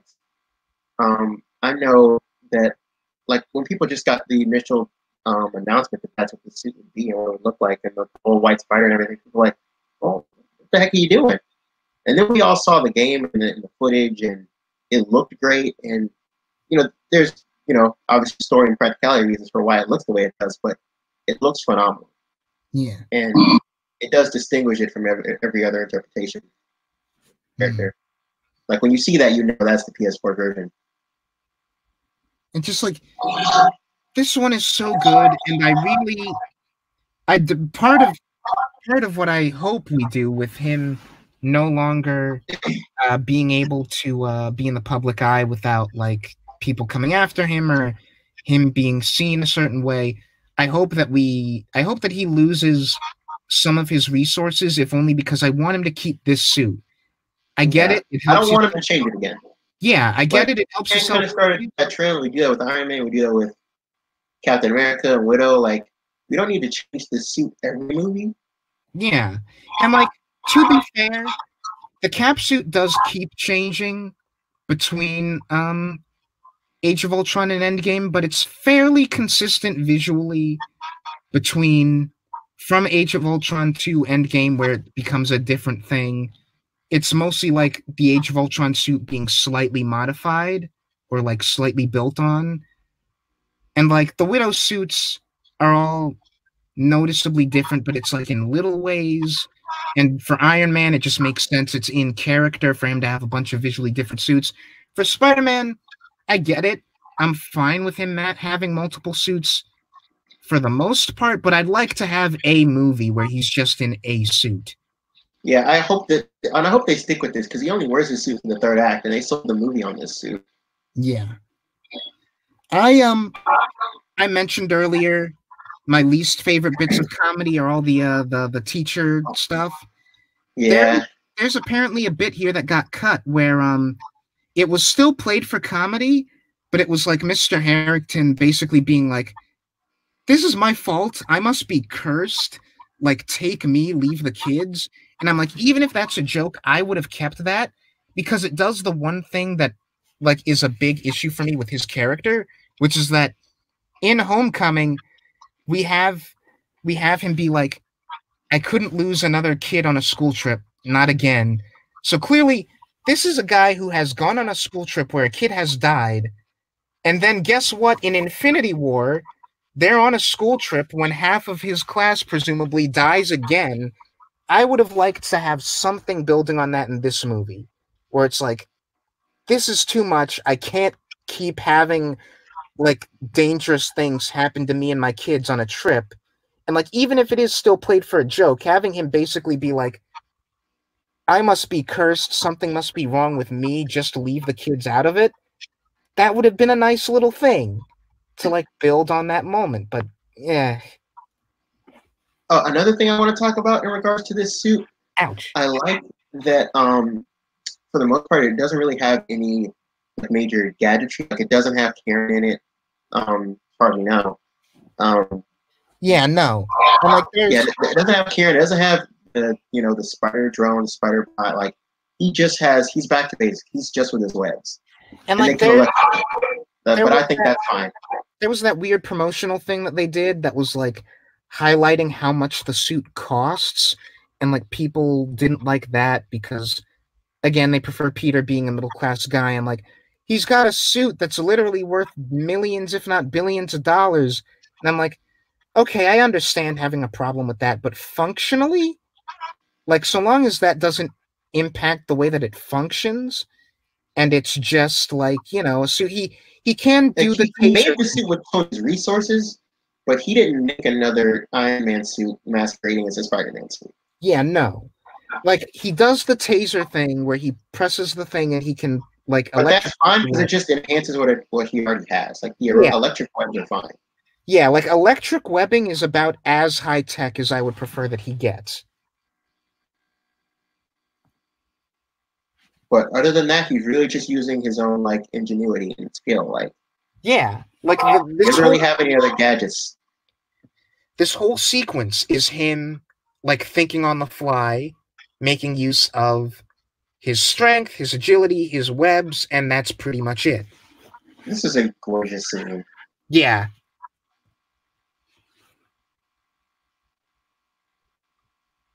And like the sh- like this shot, yeah, of him like on the drone as the illusion comes down around him, that's great. And we talked over it, but um him getting fed lines by Guterman, like like uh, standing there reading a script, is great. Um, another thing about this suit, they didn't just like reskin the homecoming suit. Like if you look closely at the mask, they tweaked the mask. Um, I like the, the, the design of the the mask a lot more. Um, like this is a different suit. It's not just reskinned with the blue replaced with black. Yeah, no.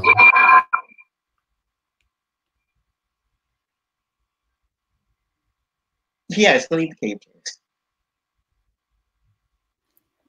Yep, and uh, I'm wondering what Mysterio's um plan is because he he says there render my illusion suit Mysterio suit. Um, but then we don't really like we don't see him actually do that because Happy shows up and he's focused on Happy, and then he's focused on um killing the Peter's other friends, classmates. So um, I'm wondering what the what the deal was because he just dropped the illusion in front of everyone. Yeah, And- see, I'm I'm still because I can see why you would think that this is wrong, and it might just straight up be wrong because like the way I'm not even saying wrong. I'm just saying I'm no, wondering. no, I mean- thought process is. what I'm what I'm about to suggest because of like the fact that he's not visibly damaged at all yet, and like, is it a continuity thing? Like, I don't know. I still get the impression that even if like it doesn't end up like making like sense, he's planning out to to like set up Spider-Man as this is all going on when he doesn't even know for sure he's going to lose yet. yeah, because he says he has contingencies, and I think that has to be what the contingency is. That's definitely the contingency. I think But, when he's um, like, I think when he's like, drop the illusion, we're not doing the giant monster thing anymore. He at least has like plan B or C or D in the back of his head. Like, all right, however this works out, I'm going to make sure that this kid goes down. Let me set him up.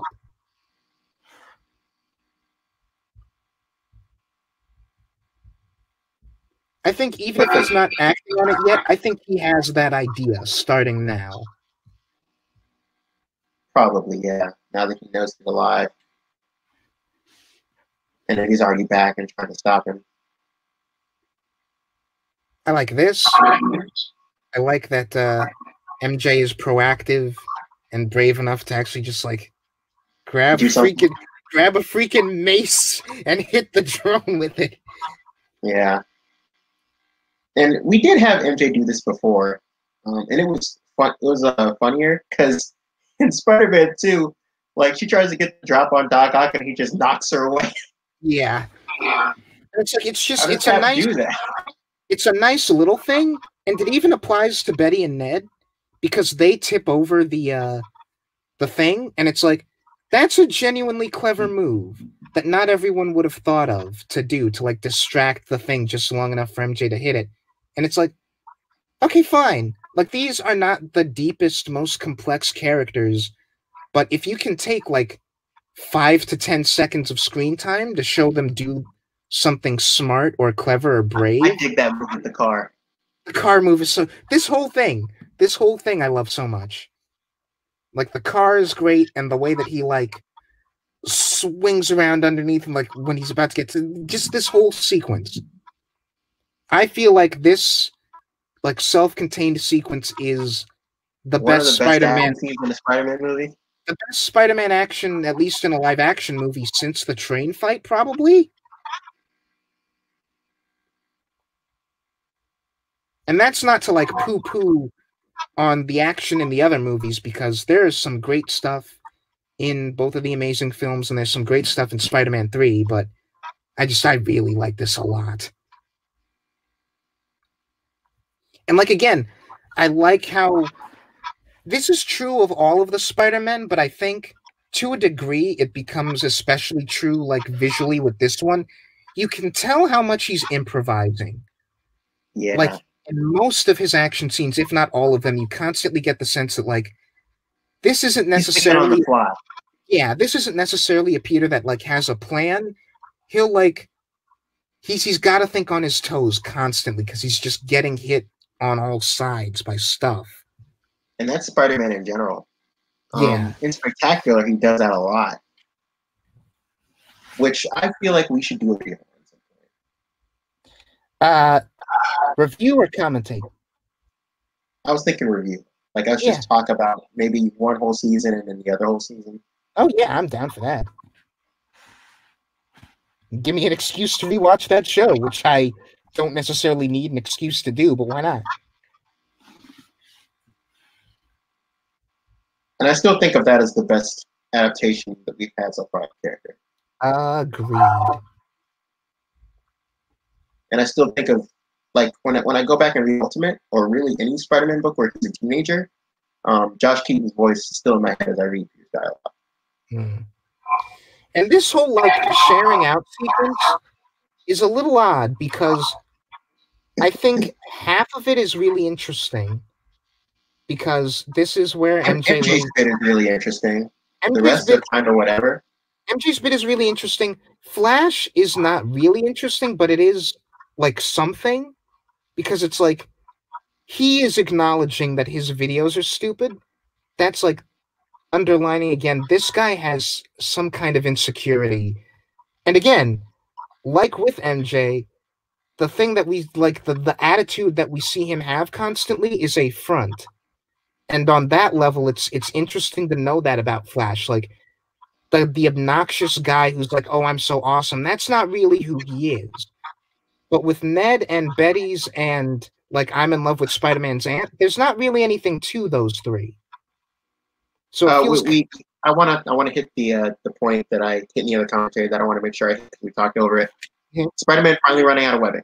yes, I yeah, freaking love that. Yeah, time we've done it in Spider-Man movie. and not like he runs out of natural webbing because he's got power incontinence or like his web shooter gets broken. No, he just used it all up. Yeah. That's fun. That's something Stan Lee did almost to an annoying degree in his original run. And it Um, creates this extra element of tension to this last bit because it's like, okay, He has to rely on just his ingenuity. and yeah, his and like we've seen him throughout all of these movies, like even not in this continuity, relies so much on webbing and action scenes. Now he's got to go up against a whole bunch of Killer Jones with none of it. And this, oh, this looks so cool. yes, it does. This is so rad.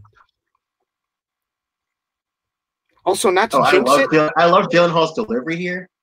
yes. But throughout this whole Fire now! fire all the drones now. Like he's And that is his undoing. He yeah, gets shot right there.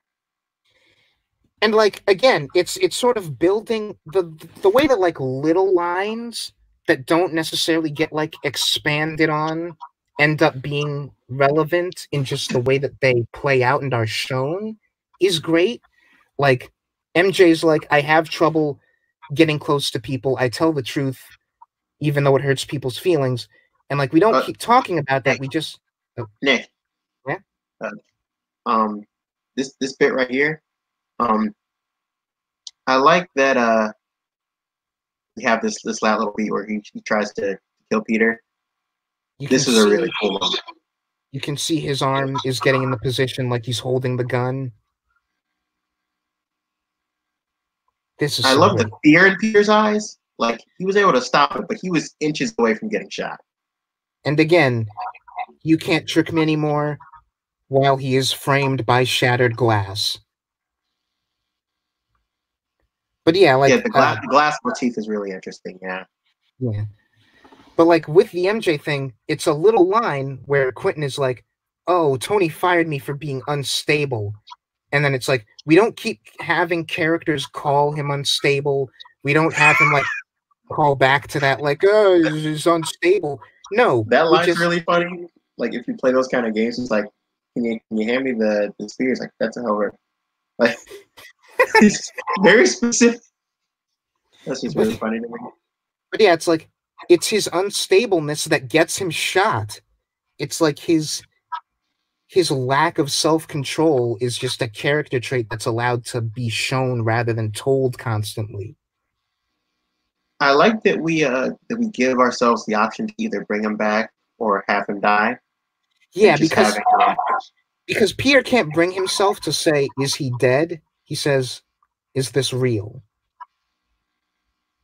And that's interesting for Peter because it's like you can see on his face in this scene and when he's talking to MJ about it, where he's like, "Did you stop Mysterio?" And you can see him think for a second, like, "Yeah, I stopped him." I he's kind of killed- dead and it's kind of my fault. Yeah. Yeah, where it's like Peter killed a whole bunch of aliens, like nondescript, sentientless aliens in uh, Endgame. But it's like this is the first person Peter's actually kind of killed, and we don't talk about it, but you can see it on his face, the way that that's affected him. Yeah, which is why I I do think it works. Like it's smart. Like Peter, like thinking about it, like you're right. Like he wouldn't say, "Is he dead?" Because he doesn't even want to think about that. Yeah, no, like if he says it, it becomes real. Yeah. Um, this is really dumb though. Like this is the scene where he has his mask off in the middle of the bridge, and anyone with a camera like can easily just zoom in and like, oh, Peter, like Mysterio doesn't even need to set him up. He's doing all his work for him. And again, like I get it. You want his face to be visible for this scene because it's emotional, and like like we said, with the whole like internalizing Mysterio's death and talking to MJ, like yeah, his face should be visible. But easy Maybe have fix. MJ come up to the tower. Don't have like them the be on the bridge thing. Have them That be is true. somewhere else. Why Yeah. are they? Why did you choose to set this scene here? Is it just because Peter the bridge, could have swung, maybe picked her up and then swung her to a secluded like building. or again, Maybe just have her taking his mask. have her run there. Like it's not it can't be that far away or like if it's have him like meet halfway so that it's still on ground level but it's not out in the open. Yeah. This is so dumb. Yeah. But again, glass necklace is broken and now the two of them are just completely done pretending with each other.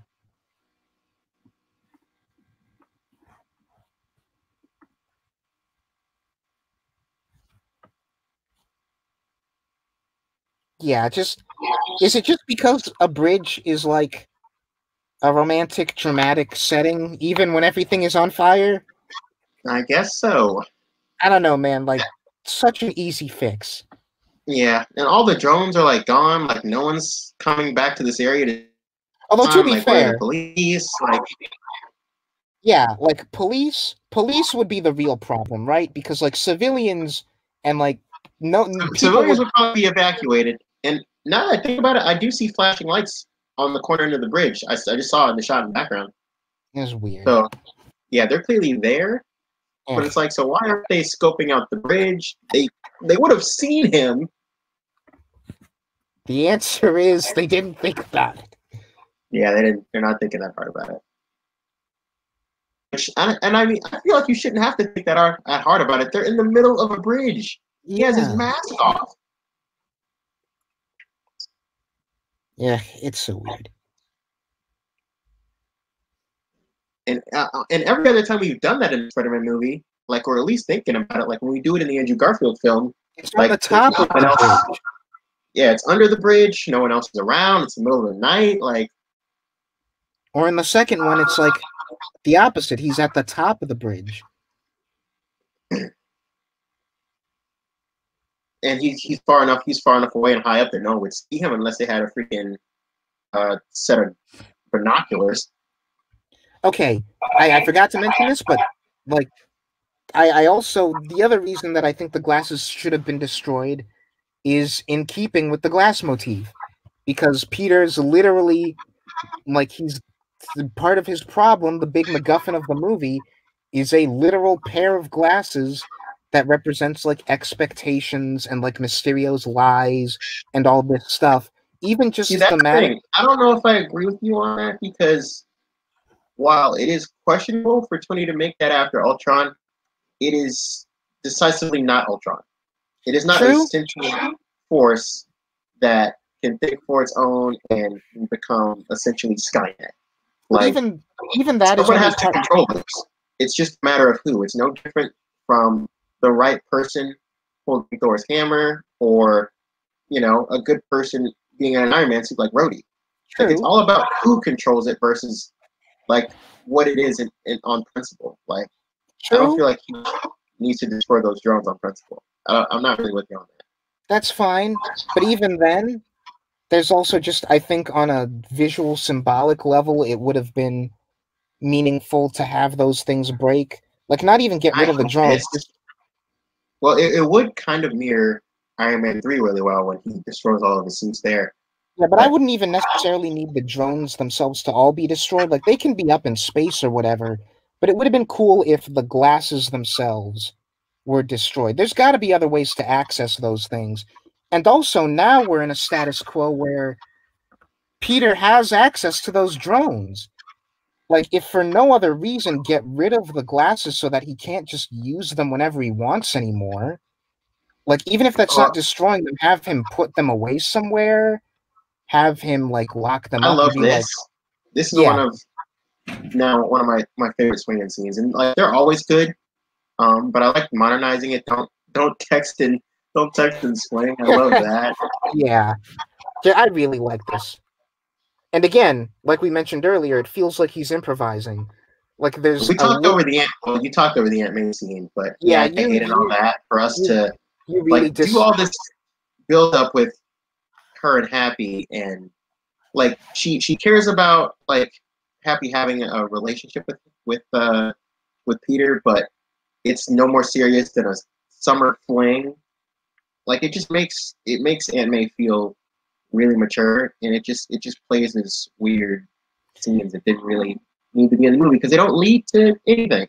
I don't quite I don't quite that into it. I dislike it just because I, I feel like it's a waste of Aunt May in this movie to have that be like her thing. Yeah. But like the idea that it's a problem for her to call it that or that like that somehow contradicts with her and like with her wanting Happy and Peter to get along. It's like it could just be that she likes Happy and she wants Peter to like she wants them to have a good relationship regardless of like if they're dating or not. Like I, that that doesn't. But if they're not, why would she? Why would she even care that much if it's not serious? I don't think she cares that much. Like she doesn't seem like she's forcing it or anything. Like he calls. But that's the thing is, it just it doesn't need it just doesn't need to be there. Like it's just. Yeah, I agree with that, but I just I'm not reading into it what you're reading into it, and that it makes her look immature. but yeah, like, and also, just so that no one doesn't, it's just so that it's aware that we mentioned it, the Uncle Ben uh, luggage blowing up, and they both laugh about it. That's uh that's a that's an oof. That's yeah, I don't like that. And again, Aunt May is my big sore spot with this movie, and I hate pretty much everything that's done with her. Bring my her on the trip. Why would they not do that? you wouldn't even have to like change the runtime that much. Just give her um, Well, if I imagine if they put her on that trip, they suddenly have to find a reason to put Happy on it as well. Um, I don't think so. Because like well, yeah, I mean, they're, they're given the end of the movie as it ended up being, yeah, you don't even need Happy to have any scenes together at all, given that none of that really amounts to anything. And even if but, it did, like so they're seeing each other. Happy's still got other stuff to do. He's like he's he's doing Stark Industry stuff. Like Aunt May, Hap, Happy is the guy that his aunt is dating. Aunt May is his guardian. Like she can come on a school trip, and Happy can be off doing his job. Okay, um, I'm just saying, like, if you're still going to, I don't know, try to still like make the same movie as it as it was, but with Annie on the trip, like um involving Happy, like he would need to either go on the trip or I don't know. But this this scene, I I love I love this cliffhanger on first viewing the more I've thought about it, the more conflicted I've been about it because, as I said in the last commentary, um, it's we we haven't really cracked the code, and I don't think this is a code that can be cracked. Maybe I'll be proven wrong when we finally get that third movie. But a Spider-Man with his identity outed, we don't know how to write that. Yeah, see, and you you have that reservation. If I were as confident as you that that's what we're going to be doing going forward, I would share that reservation. But for me, You Like, think that I- he's somehow going to find a way to make people think he's not actually Spider? yeah, I'm assuming going in that that's what we're doing with the third one is that some because I think they're pretty careful with the way that they're playing the Mysterio clip. Whether they've worked out what exactly the story That, is, that is true. That that this this isn't proof that he's Spider-Man by any means. Yeah. Whether or not they've worked out what they want to do with it this far in advance or not, like I'm sure that movie's still in the early writing processes, if that. But like they're they're clearly covering their bases with what this clip actually shows. Like his face is not visible in the video. And Yeah.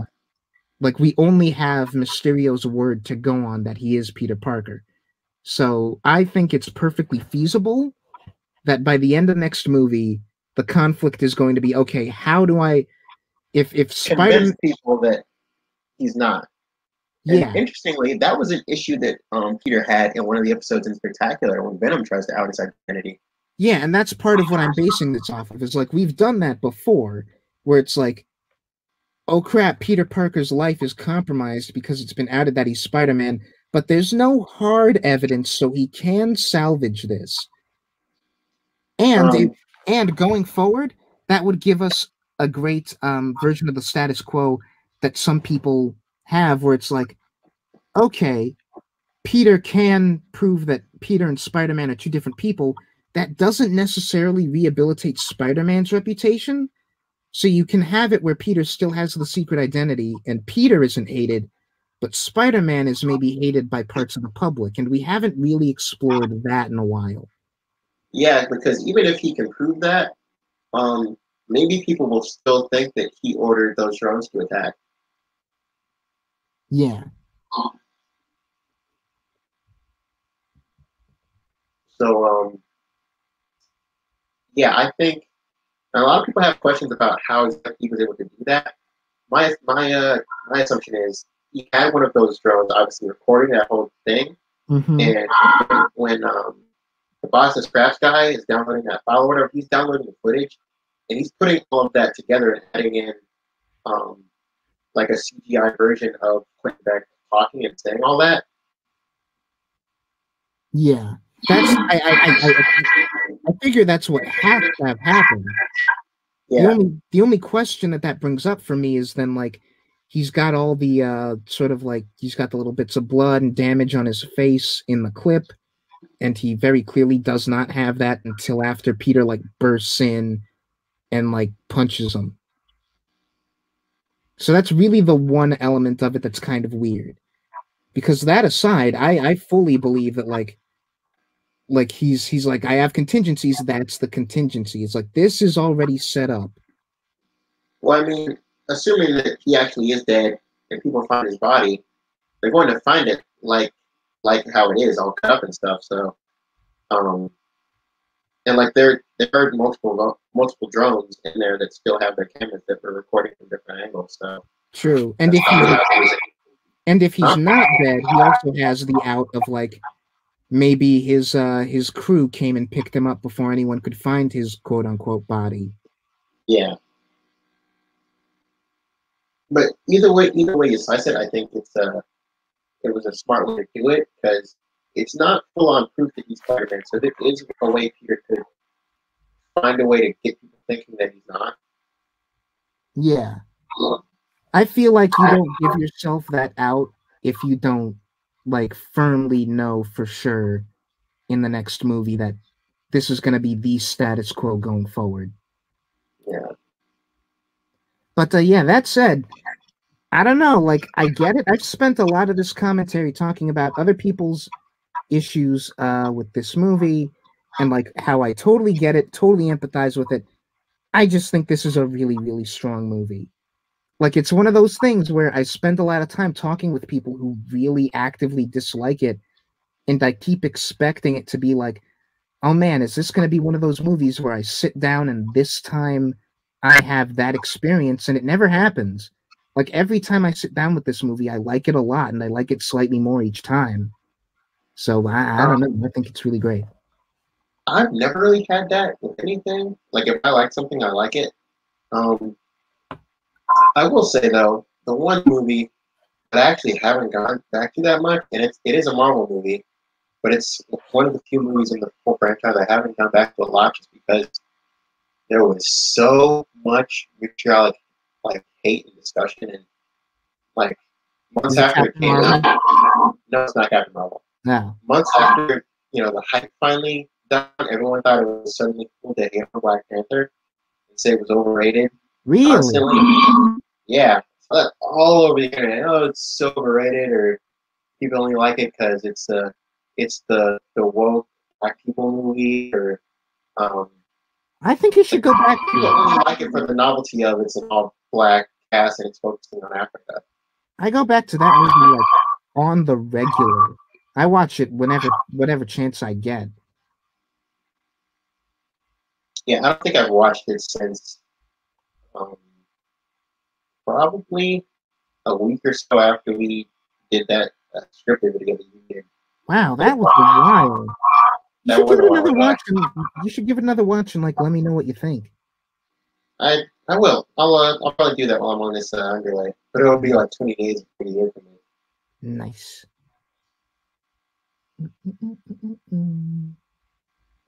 Um, so I guess I mean we all know what the post credit scene is. I don't like it. Um, at least not. I don't like it for the context of this movie. As I said earlier, like it just it undermines the impact of Nick Fury scenes. That none of that is actually Nick Fury. It's just Talos. But um, I I also don't know what they're setting up and what Nick Fury is doing in space. I guess it's gonna have something to do with uh, uh, the Eternals. Maybe maybe that's why he's in space. That's the only I thought it was I thought it was obvious, but my first assumption was uh they're doing sword. Oh yeah, that, but that that is somehow going to tie into Eternals. Uh possibly Eternals, possibly Captain Marvel 2, even though that hasn't been formally announced yet. Just whatever space thing happens next. Yeah, which is Eternals. That And like did you did you hear about um I forget I forget what the source for this was, and it might be completely bunk, but like Eternals is going to take place over the course of like centuries. Uh, ugh, that sounds like rumor garbage, but okay. Yeah, I haven't heard anything about that. It does sound like rumor garbage, but I hope it's true because I yearn for a superhero movie that doesn't take place over like a couple of days.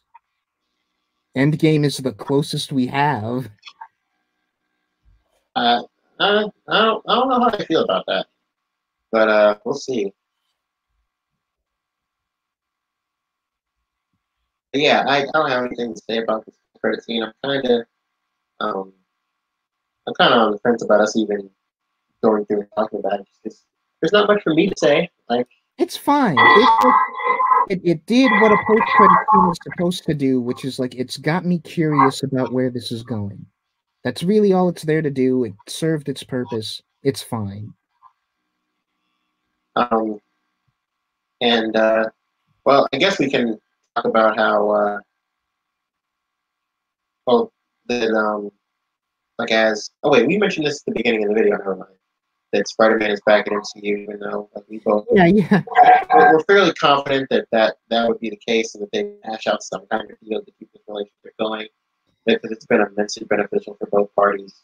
I'm pretty sure that I'm not even sure how this makes sense, but I think I read somewhere that both parties knew they were going to get back together before they even split. I don't know how that works, but like yeah, Time, that that also time- feels like garbage.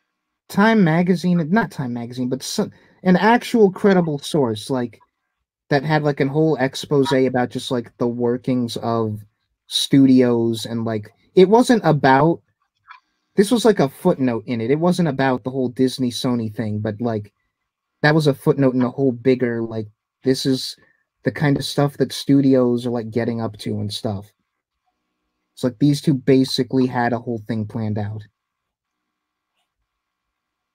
Nah, you don't plan that. Yeah, it's it's weird, but uh, I mean, as we understand it, that's not something you plan. But just we're kind of spinning our wheels at this point. Uh, I, I I said my piece. I think this is a great movie. I think it holds up to scrutiny, and uh, I don't know. Uh, unless you've got anything to add, I'm going to suggest that people let us know what they thought of the commentary what they think of the movie in the comments. Uh, share this around if you liked it. Subscribe if you haven't already. And uh, yeah, thanks for uh, joining us on this journey through Spider Man land. You got any last words? Just that I really like this movie. Um, it was like I have major gripes with it, Aunt May being the primary thing. But aside from that, this is a really strong Spider Man film, and I walked out otherwise satisfied. Nice. So uh yeah, I think I might accidentally be locked in my closet. So I'm gonna work on getting myself out. And uh I will talk to you later. Thank you for listening, everybody.